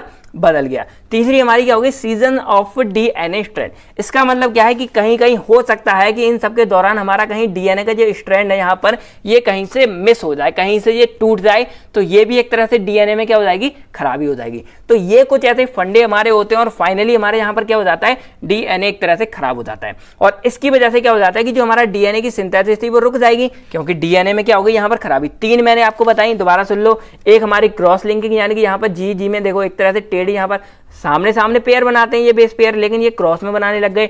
दूसरा यहाँ पर क्या था? देखो गोइनिन का होता है साइटोसिन के साथ साइटोसिन का गोइनिन के साथ। लेकिन यहाँ गोइनिन और गोइनिन की यहाँ पर क्या हो रही? बेस पेयरिंग यहाँ पे करा दी। देखो, ये गोइनिन ये गोइनिन आपस में इस तरह से बेस पेयर यहाँ पर बना दी तीसरी यहाँ पर क्या होती है? हो सकता है कहीं से हमारा स्ट्रेंथ टूट जाए और डीएनए हमारा यहाँ पर इनकम्प्लीट हो जाए। तो इन सब रीजन से यहाँ पर क्या होगा फाइनली हमारा जो डीएनए सिंथेसिस थी वो हमारे यहाँ पर रुक गई और डीएनए रेप्लीकेट ही नहीं होगा। यहाँ पर सिंपल सा फंडा देखो। अगर ये डीएनए यहाँ पर रेप्लीकेट नहीं हो रहा तो भाई ना तो ये सेल का हमारा न्यूक्लियस डिवाइड होगा और ना ही हमारा फिर सेल डिवाइड होगा। तो इस तरह हमारी सेल डिवीज़न यहाँ पर क्या होगी फाइनली रुक जाती है। तो ये हमारा पूरा का पूरा मैकेनिज्म था एल्काइलेटिंग एजेंट्स का। आई होप आप लोग एल्काइलेटिंग एजेंट्स का ये पूरा मैकेनिज्म समझ गए होंगे। चलिए, अब हम समझते हैं एल्काइलिक एजेंट्स के कुछ हमारे जो ड्रग्स हैं, उन सब के बारे में समझते हैं। तो देखो, पहला हमारा यहाँ पर क्या आता है? ये मी क्लोरो अमीन जिसको हम मस्टिन नाम से भी जानते हैं। अब देखो, यहाँ पर जो मी वर्ड है, इसका मतलब होता है एक मिथाइल ग्रुप यहाँ पर अटैच है। तो देखो, यहाँ पर हमारा क्या जुड़ा है? एक मिथाइल ग्रुप फिर हमारे यहाँ पर वर्ड क्या आता है?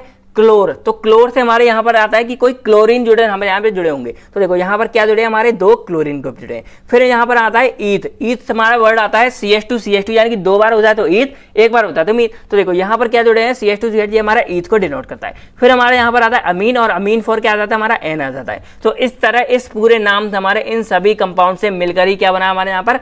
मी क्लोर ईथ है अमीन फिर हमारे इसको जो है मस्टिन नाम से भी जाना जाता है। तो ये हमारा नॉर्मल और पहला बहुत इंपॉर्टेंट कंपाउंड हमारे यहाँ पर आता है मी क्लोरा मैकेनिज्म की बात करें तो सेम जो हमने यहाँ पर अभी मैकेनिज्म पढ़ा था, वही सारा यहाँ पर मकैनिज्म है तो इसको मैं डबल डबल नहीं बताऊँगा। बस सेम ही है यहाँ पर। सिंथेसिस की बात कर लेते कैसे हमारा ये फॉर्म होता है। इसके लिए हम दो कंपाउंड्स लेते हैं। पहला हमारा इसमें आता है इथाइलिन ऑक्साइड और दूसरा हमारा इसमें आता है मिथाइल अमीन इसको मैं यहाँ पे थोड़ा डिटेल्स में आपको बताता हूँ। ये हमने ले लिया अपना methyl amine C S three methyl N S two amine four फिर हमारे यहाँ पर आता है इथाइलिन ऑक्साइड इथाइलिन वर्ड क्यों आया है? C S two C S two ethylene oxide four आ गया ओ फोर अब इसमें होता क्या है? देखो, यहाँ पर सिंपल सी बात करते हैं।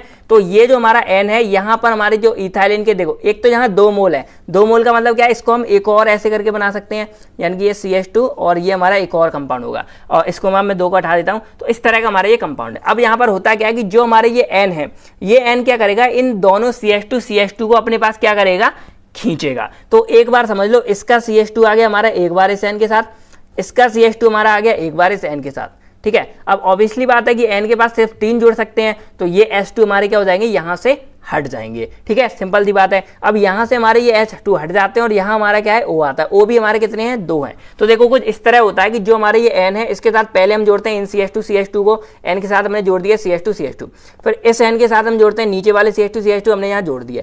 फिर हमारे ये ओ आता है दो। तो एक हमने ओ जोड़ दिया यहाँ पर एक हमने वो जोड़ दिया यहाँ पर। फिर हमारे यहाँ पर क्या बचते हैं? एच टू बचते हैं तो इस ओ के साथ हमने एक ओ एच यहाँ जोड़ दिया, एक एच यहाँ जोड़ दिया। तो इस तरह हमारे ये पूरा का पूरा एक कंपाउंड यहाँ पर क्या हो जाता है? डेवलप हो जाता है। सिंपल सी बात है, चलिए। अब हम यहाँ पर क्या कराते हैं? इसको क्लोरीनेटेड करा रहे हैं यानी कि अब इसकी क्लोरीन के साथ हम क्या कराएँगे? रिएक्शन कराएँगे। तो इसके साथ हम यहाँ रिएक्शन के लिए क्या लेते हैं? S O C L two या हम यहाँ पर यही बोल देते हैं तो देखो, यहाँ पर क्या होता है कि अब जो हमारे ये ओ OH है, यहाँ के ओ OH है, ये हमारे फर्दर सी एल के साथ क्या हो जाते हैं?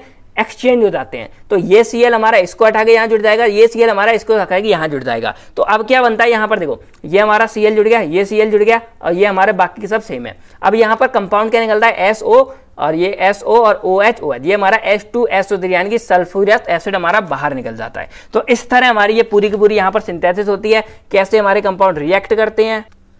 तो इस तरह हमारे ये पूरा का पूरा जो इथाइलिन ऑक्साइड है, ये दोनों मिलकर ये कंपाउंड बनाते हैं। इसकी क्लोनेट होकर हमारे यहाँ पर क्या फॉर्म हो जाता है? मस्टिन फॉर्म हो जाता है। ये सिंपल थी, हमारी इसकी क्या थी? सिंथेसिस थी। अब इसके हमने मैकेनिज्म देख लिया सेम हमारा होगा। अब इसके यूजेस देखते हैं। तो यूजेस में हमारा क्या होता है? एक हमारा ये जो हॉट स्किन ये हमारा होता है डिसीज इसमें काम आता है। ये हमारा जो लिम्फेटिक सिस्टम होता है, यानी जो इम्यून सिस्टम है, उसमें जो हमारे कुछ पार्ट्स होते हैं, वहाँ पर ये कैंसर हमारा जो है डेवलप होता है।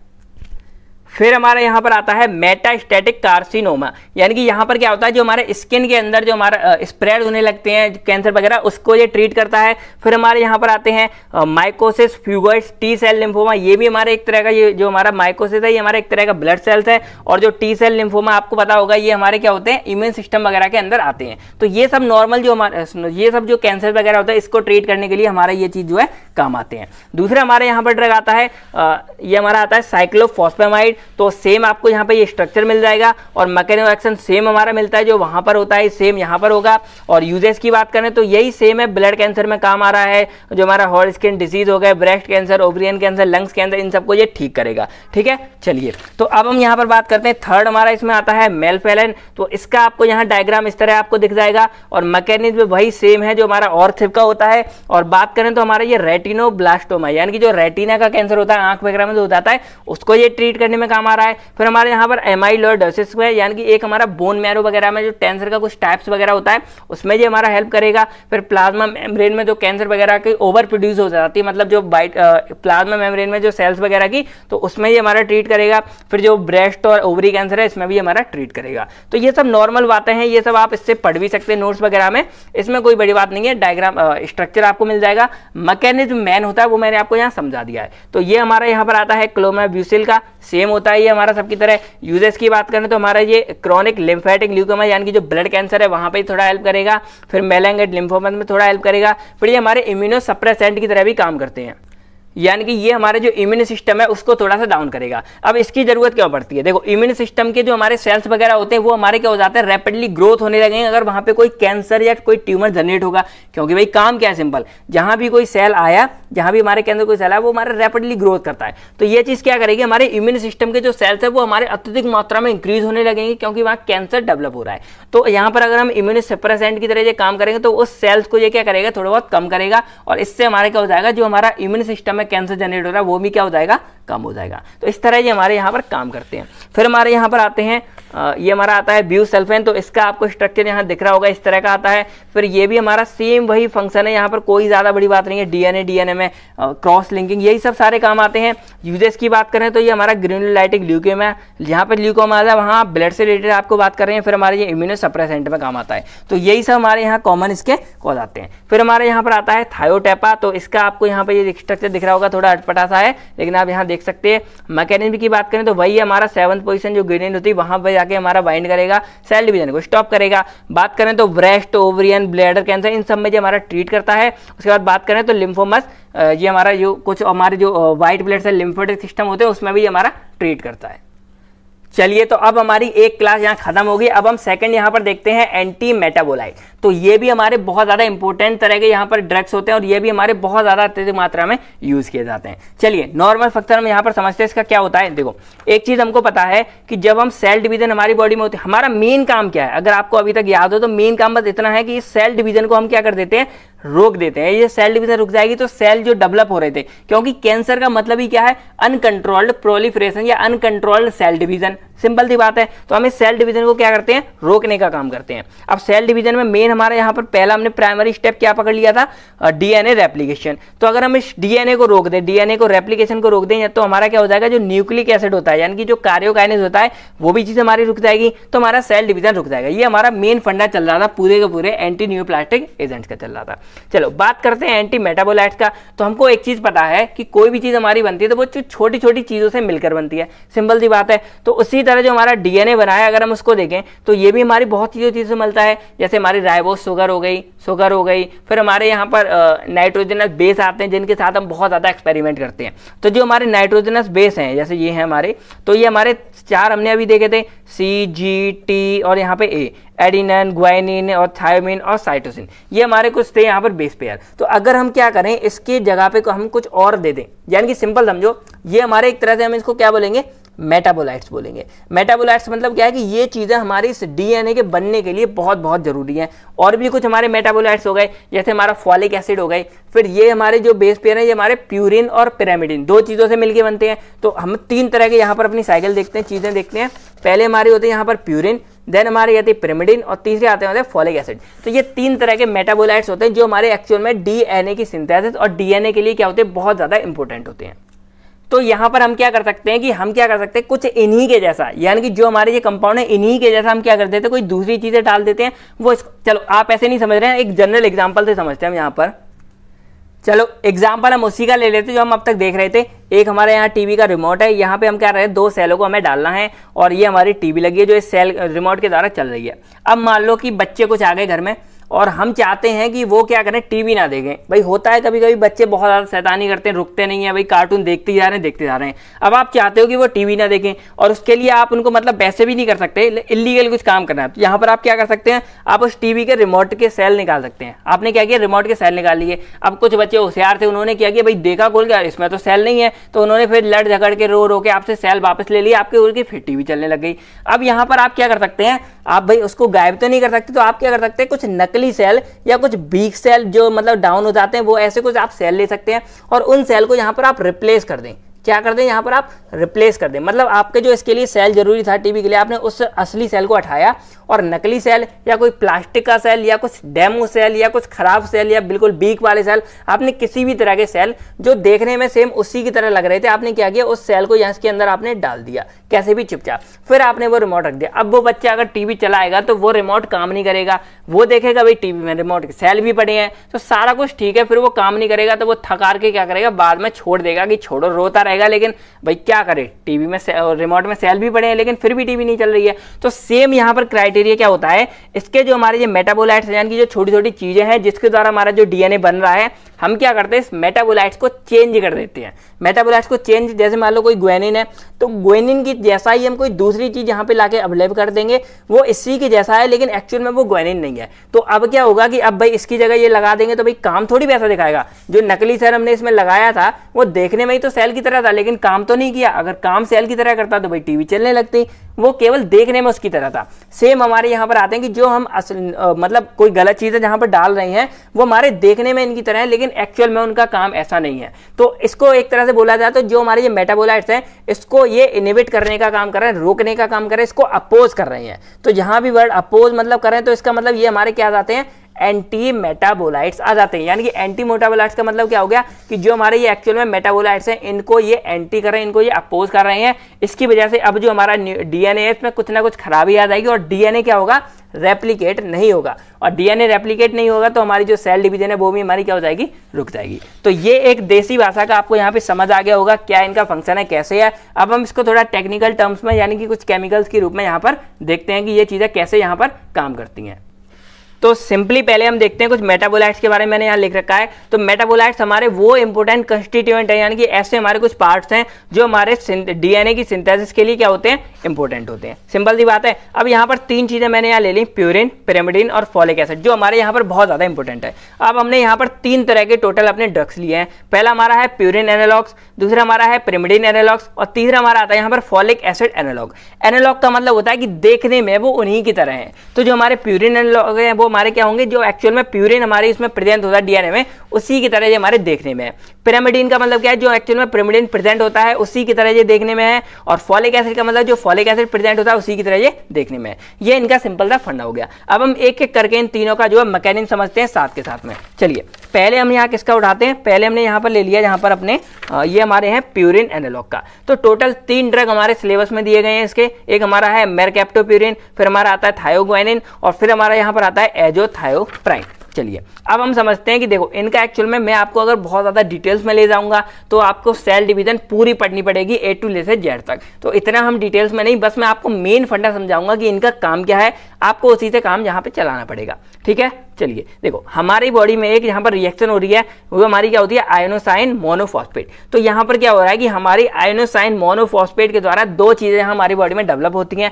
कन्वर्ट हो रही है एक तरह से, हमारा जो आईएमपी है, इसके द्वारा हमारी बॉडी में बन रहा है एडेनिन और ग्वेनिन और अगर आपको याद हो तो एडेनिन और ग्वेनिन हमारे क्या होते हैं? प्यूरिन बेस होते हैं और ये हमारे डीएनए में बहुत ज़्यादा इंपॉर्टेंट भूमिका निभाते हैं और डीएनए के जो बेस पेयर है आयोनिन और ये हमारा क्या था? आयोनिन और ग्वेनिन ये हमारे एक तरह से बहुत ज़्यादा यूज़ आ रहे हैं हमारे डीएनए के नाइट्रोजन बेस में। और अगर इनमें से कोई भी चीज़ गायब हो जाएगी तो नाइट्रोजन हमारा क्या हो जाएगा? इनकम्प्लीट हो जाएगा डीएनए और हमारे यहाँ पर क्या हो जाएगी? रेप्लीकेशन रुक जाएगी। तो देखो, यहाँ पर आपको समझ आ गया, ये हमारी दो मेन चीज़ें होती हैं जो नाइट्रोजन बेस होते हैं डीएनए में। और ये एक तरह से बिल्डिंग ब्लॉक भी बोल सकते हैं, यानी कि इसके द्वारा हमारा जो डीएनए वो बन रहा है। सिंपल सी बात है, चलिए।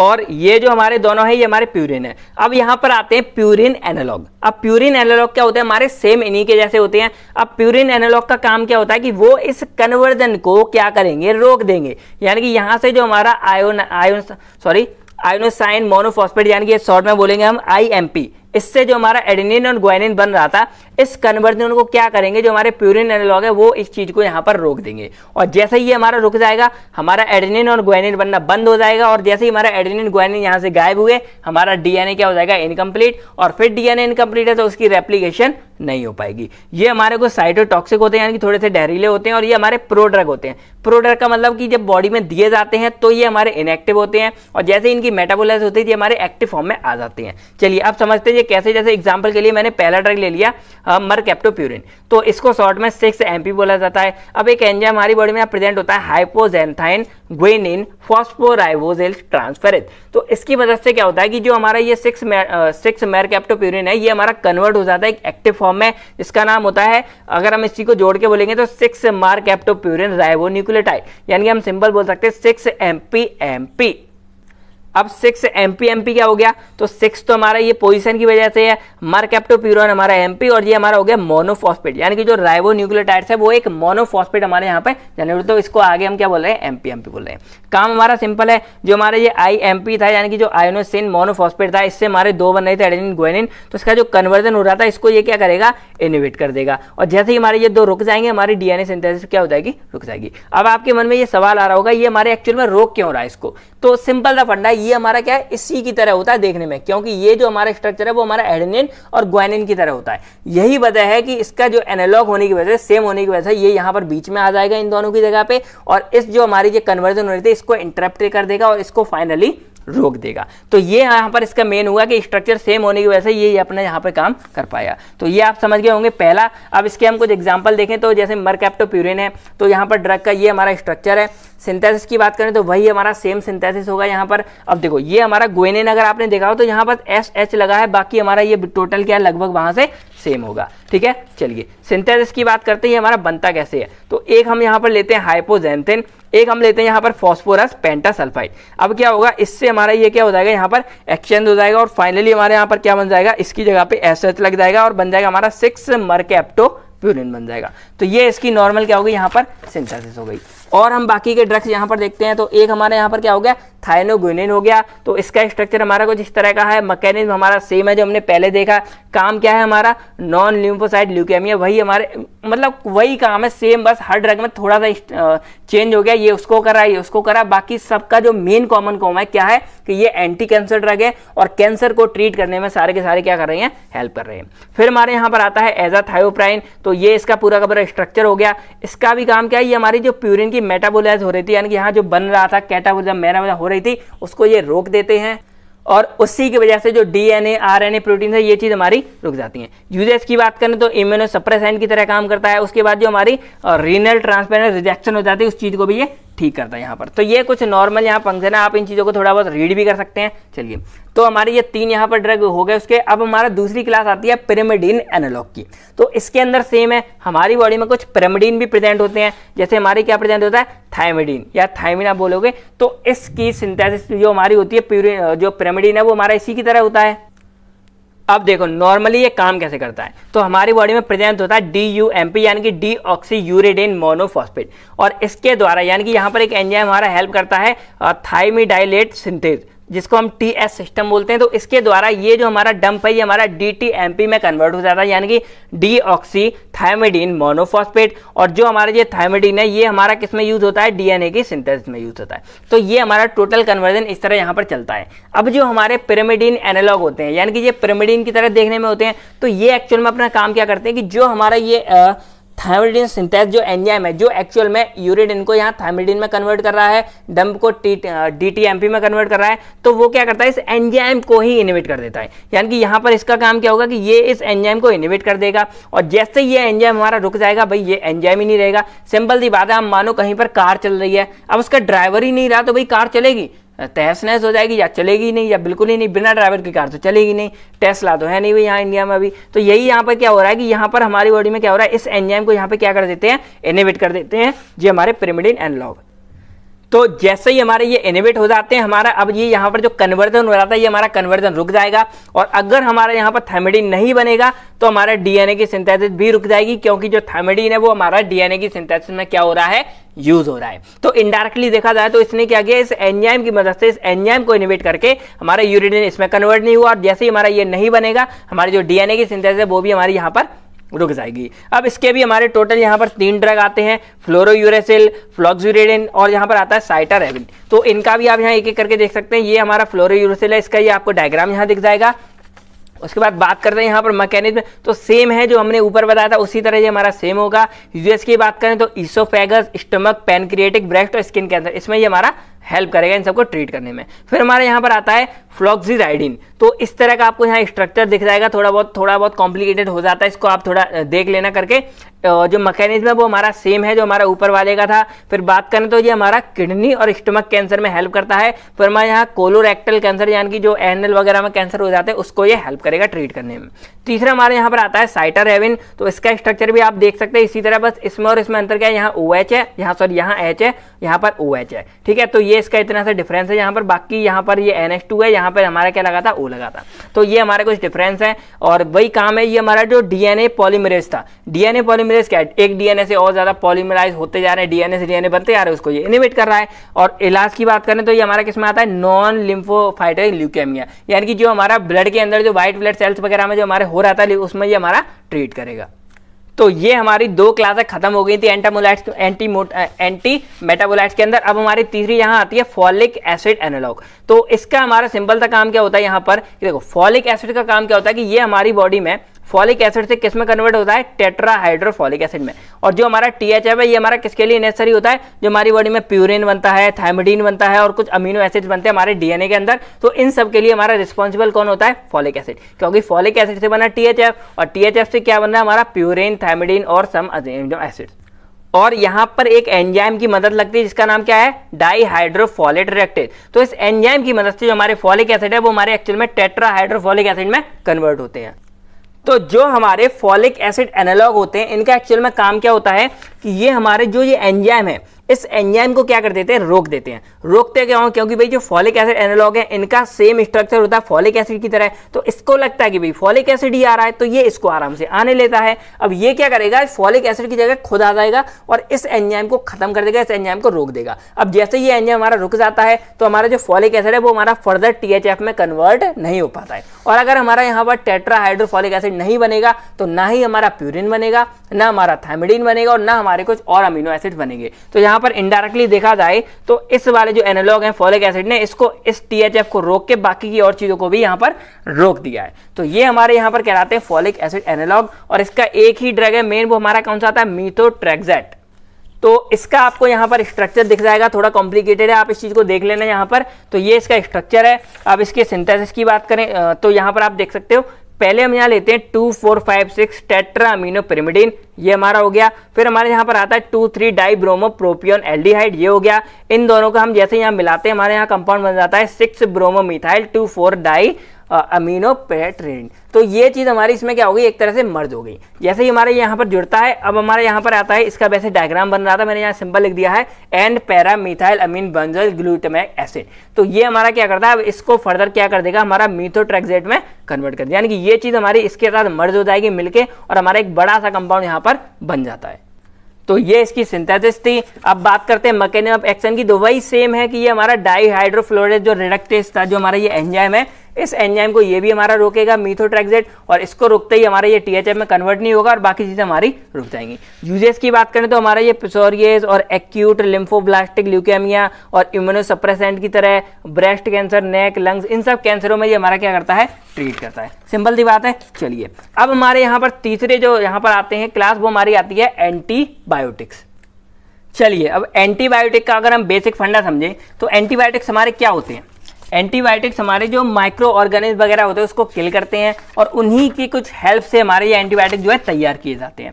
अब हाल ही में मतलब ज़्यादा पुरानी ये देखा गया कि ये हमारे जो एंटीबायोटिक्स हैं, ये भी हमारे as a anti neoplastic agent use कर सकते हैं और ये भी हमारे जो कैंसर को मारने का काम करते हैं। अब ये करते कैसे हैं? इसको हम देखते हैं। तो देखो, ये हमारा तीन तरह से बेसिकली यहाँ पर फंडा कर रहा है। पहला हमारा क्या है कि जो हमारा ये डीएनए है इस डीएनए के साथ कहीं पर भी जाके जो हमारा ये एंटीबायोटिक्स हैं, ये हमारे क्या कर जाएँगे? इसके साथ जुड़ जाएँगे। और जैसे यहाँ पर ये जुड़ेंगे, इस डीएनए के स्ट्रक्चर में क्या हो जाएगा? चेंज हो जाएगा। और इसकी वजह से जो डीएनए की रेप्लीकेशन है, वो हमारी रुक जाएगी। तो ये हमारा मेन फंडा हो गया पहला। दूसरा हमारे यहाँ पर आता है इंटरकैलेशन तो इसका आप कुछ इस तरह समझो कि जैसे हर जब भी हम देखते हैं कोई डीएनए वगैरह हो गया या कहीं भी हो गया तो हल्के हल्के जैसे ये जुड़ रहे हैं। ये इस तरह है। तो बीच में कई बार क्या होता है थोड़ा थोड़ा लेटेज यानी कि गैप होता है। तो ये जो हमारे एंटीबायोटिक्स हैं, ये क्या करते हैं, इन्हीं गैप्स के अंदर क्या हो जाते हैं, बीच में जाके फिट हो जाते हैं। और जैसे ये एंटीबायोटिक्स हमारे इस बीच में जाके फिट हो जाएँगे सिंपल सी बात है, क्या करेंगे? जब ये जुड़ गए। अब इसका जो ट्रांसक्रिप्शन या हमारा जो कॉपी रेप्लीकेशन हो रहा है, यानी कि आरएनए की हमारी ट्रांसक्रिप्शन होगी आरएनए हमारा एमआरएनए वगैरह बनेगा, और जो डीएनए उसकी रेप्लीकेशन होगी। तो अगर ये बीच में हमारे जुड़े हैं तो वो क्या कर देंगे, इस रेप्लीकेशन और ट्रांसक्रिप्शन को क्या कर देते हैं, रोक देते हैं। और अगर हमारा ट्रांसक्रिप्शन वगैरह नहीं होगा तो जो हमारा डीएनए वो हमारा आगे नहीं बनेगा। तो एक ये तरीका हो गया फिर इसको हम यहाँ बोलते हैं इंटरकैलेशन फिर हमारे यहाँ पर आते हैं स्ट्रैंड स्ट्रैंड ब्रेकेज अब ये हमारा सिंपल सी बात अब देखो, इतना कुछ हुआ तो हो सकता है कि इसमें हमारा जो स्ट्रैंड है, ये चीज़ हमारी हमारी कहीं से टूट जाए। इसके साथ लगा तो इसमें ये टूट सकती है। तो ये भी एक पॉसिबिलिटीज होती है कि एंटीबायोटिक की वजह से जो हमारे स्ट्रैंड है हेलिक्स के, वो हमारे यहाँ पर ब्रेक हो सकते हैं। तो अगर इन तो अगर इन तीनों का ही देखें तो सबका मेन फंडा क्या निकला कि इन सबकी ब्रेकेज की वजह से क्या हो जाता है? हमारे जो सेल एप्लीकेशन है, वो हमारा क्या हो जाता है? स्टॉप हो जाता है। और यही तो हमारा मेन फंडा है कि हमारा जो सेल है, वो डेवलप ना हो पाए, जो हमारे कैंसर सेल है, वो आगे ना बढ़ पाए। तो इस तरह से हम क्या करते हैं? सेल की डेवलपमेंट को यहाँ पर क्या कर देते हैं? रोक देते हैं। तो ये हमारा मेन पूरा का पूरा मैकेनिज्म था एंटीबायोटिक्स का। अब अगर हम इसकी बात करें यहाँ पर तो ये हमारे ये ड्रग्स हैं, ये हमारे मोस्टली कहाँ से मिलते हैं हमको? फंगत स्ट्रेप्टोमाइसिस से और ब्लियोमाइसिन से। अब आप कह रहे होंगे इसके ड्रग्स कहाँ चले गए? तो देखो, इसमें ना बहुत ही ज़्यादा डेंजर डेंजर स्ट्रक्चर थे जो इतने बड़े बड़े थे। तो अभी टाइम का थोड़ा शॉर्टेज था तो मैंने इसको नहीं बनाया है। लेकिन वो शायद अगर हुआ तो मैं यहाँ पर आपको शो कर दूँगा, आपको यहाँ पर दिख जाएँगे। तो वो जो भी हमारे ये स्ट्रक्चर वगैरह होंगे, ये आप यहाँ नोट डाउन कर लेना।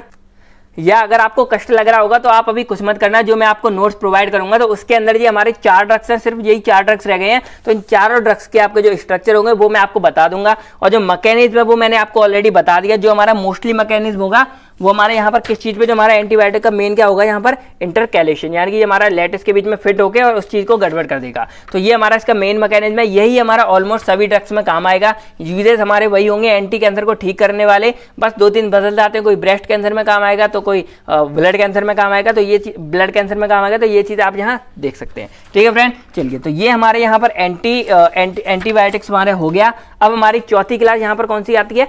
प्लांट प्रोडक्ट वाली। चलिए, अब प्लांट प्रोडक्ट की अगर बात करते हैं तो ये हमारे क्या होते हैं, बहुत ज़्यादा इंपॉर्टेंट और इफ़ेक्टिव माने जाते हैं। आप लोगों ने देखा होगा, कई बार अगर कैंसर वगैरह ठीक नहीं होता तो लोग क्या कहते हैं कि भाई, आयुर्वेदिक की तरफ़ जाओ जड़ी बूटियों की तरफ़ जाओ, बहुत जगह ऐसे होम्योपैथी दवाइयाँ भी चलती हैं मतलब बहुत जगह की दवाइयाँ हैं। तो यहाँ पर ये प्लांट प्रोडक्ट हमारे क्या होते हैं, ये एक्चुअल में हमारे ऐसी दवाइयाँ होती जो हमें प्लांट के द्वारा मिलती हैं। और अगर कोई चीज़ आपको याद हो तो अगर हम प्लांट के द्वारा यूज़ करते हैं तो उसके सबसे कम क्या होते हैं साइड इफ़ेक्ट होते हैं।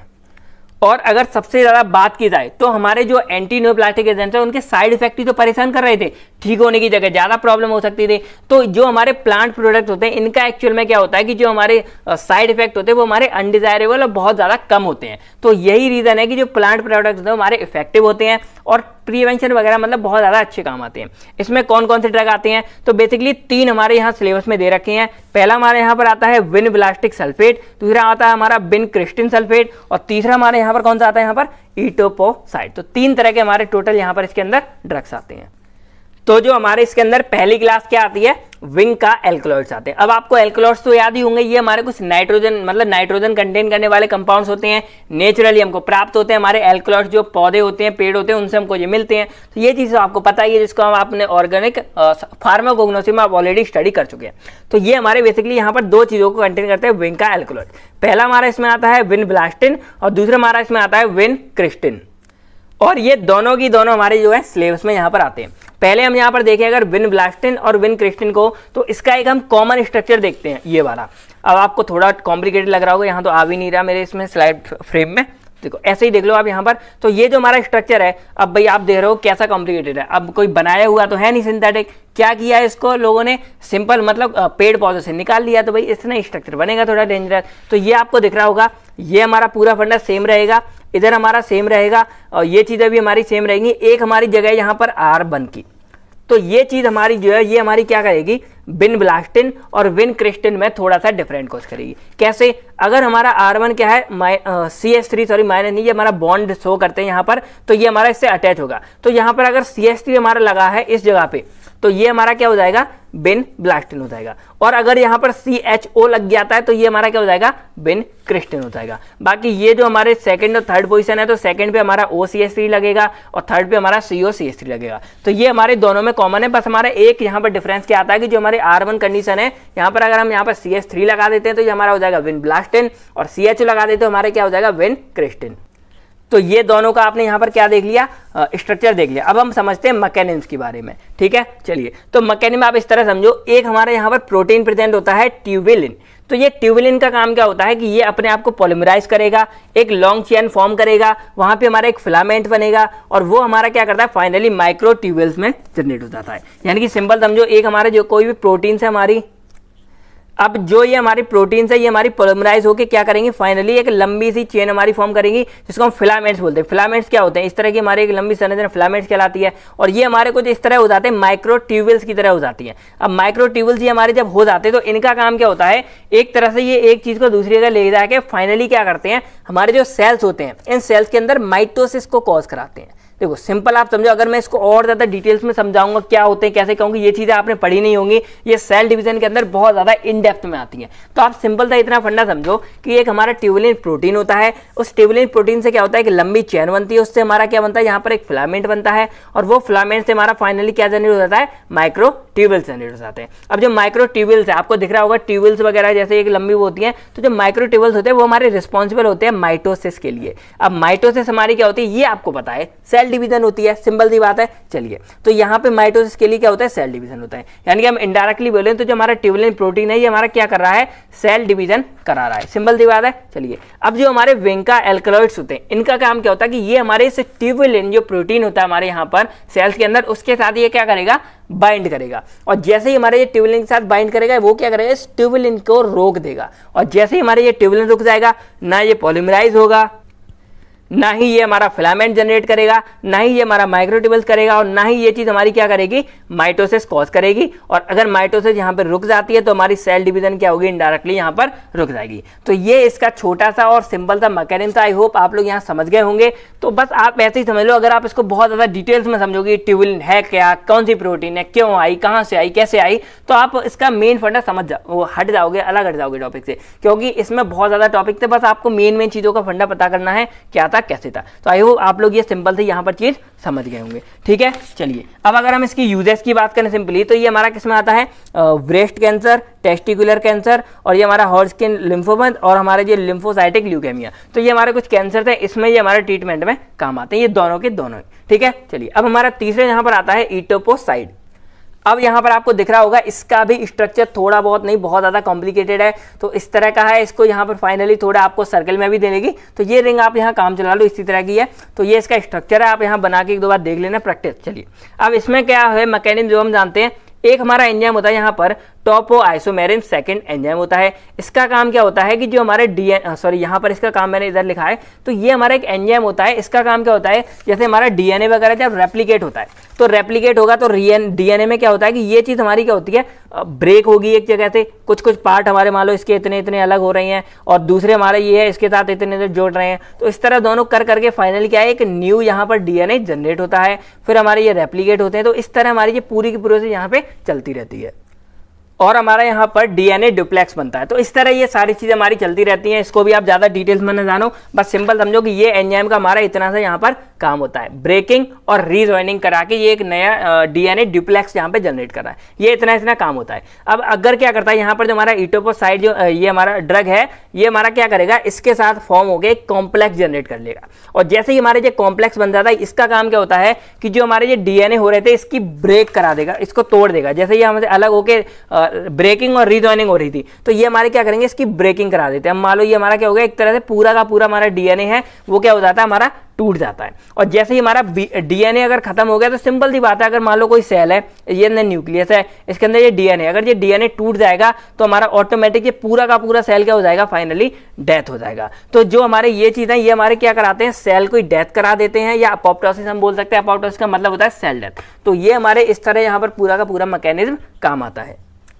यूजेस की बात करते हैं यहाँ पर तो ये हमारा क्या करता है? जैसे एक बात और बता दूँ, जो हमारे एप्पल के कुछ प्लांट्स वगैरह होते हैं, वहाँ से ये चीज़ हमको देखने को एक्सट्रेट आउट हो सकती है। उसके बाद बात करें तो लंग्स कैंसर हो गया टेस्टिकुलर कैंसर हो गया हॉट स्किन कैंसर तो इस समय ये हमारा हेल्प करता है। उसके बाद जो ल्यूकेमिया ब्लड कैंसर है, उसमें भी ये हमारा हेल्प करता है। तो ये हमारे सिंपल हो गए। अब हम समझते हैं कुछ अपने मिसलेनियस कंपाउंड्स के बारे में। तो इसमें पहला हमारा यहाँ पर आता है सिस प्लेटिन तो इसका स्ट्रक्चर आपको याद है और अगर हमने जब सॉरी मेडिसिनल केमिस्ट्री पढ़ी थी जब हमने प्रोसेस पढ़ी थी ज्योमेट्रिकल आइसोमेरिज वाली, वहाँ पर आपने पढ़ा था कि जो सिस प्लेटिन है, यानी कि एक्चुअल में जो हमारा ड्रग प्लेटिन है, इसका जो सिस वाला पार्ट है, ये हमारा इफ़ेक्टिव है एंटी कैंसर के लिए, लेकिन ट्रांस वाला जो पार्ट है, वो हमारा इतना इफ़ेक्टिव नहीं रहता। तो ये आपने एग्जांपल पढ़ा होगा। तो ये इसका डायग्राम है और मैकेनिज्म देखें तो एल्कालेटिंग जो एजेंट्स होते हैं, उसी की तरह हमारा सेम काम करता है। यूएस की बात करें तो कैंसर जो हमारे testicular oesophageal brain ovarian head and neck breast cancer bladder cancer तो इन सब में ये हमारा हेल्प करता है। कह सकते हैं कि एक बहुत ज़्यादा इफ़ेक्टिव हमारा ड्रग आता है। फिर हमारा यहाँ पर आता है माइटोटॉन तो इसका आपको ये दिख रहा होगा। और मैकेनिज्म की बात करें तो वैसे तो इसका अननोन है, लेकिन देखा जाए प्रेजेंट डाटा में तो जो हमारे पेरीफेरियल एरियल स्टेरॉइड जो होते हैं, उसको ये थोड़ा रोकता है। और बात करें दूसरा तो जो एड्रिनल कॉर्टेक्स है, इसको थोड़ा सा सप्रेस करता है। अब इसको समझो कैसे। अब मान लो एड्रिनल कॉर्टेक्स जो हमारा यहाँ पर ट्यूमर वगैरह जनरेट हो गया, एड्रिनल कॉर्टेक्स वगैरह में वहाँ पर तो उसको क्या करेगा? ये सप्रेस करेगा तो उनकी जो सेल्स वगैरह जो बढ़ रही थी, उसको धीरे धीरे क्या करेगा? ये कम कर देगा। और वहाँ पर जैसे ही सेल्स ट्यूमर कम होंगे तो वहाँ पर कैंसर ऑटोमेटिक खत्म हो जाएगा। तो अगर आप यहाँ तक आ गए तो ये क्वेश्चन आपको कमेंट्स में लिख के बताना है क्विसिंग सिंड्रोम क्या होता है, कैसे होता है? तो इसका आंसर आपको जो कमेंट्स में बताना है। तो आई होप आप लोगों को सारा कुछ समझ आ गया होगा। तो वीडियो को लाइक करना, इतनी बड़ी वीडियो में थोड़ी बहुत मेहनत लगी थी। कैसा लगा, क्या लगा, सारा कुछ आप कमेंट करके ज़रूर बताइएगा। बाकी मिलते हैं आपसे बहुत जल्द, तब तक friend thank you take care आप चलो अपना और अपनी फैमिली का ख्याल रखेगा बाय बाय फ्रेंड्स जय हिंद दोस्तों।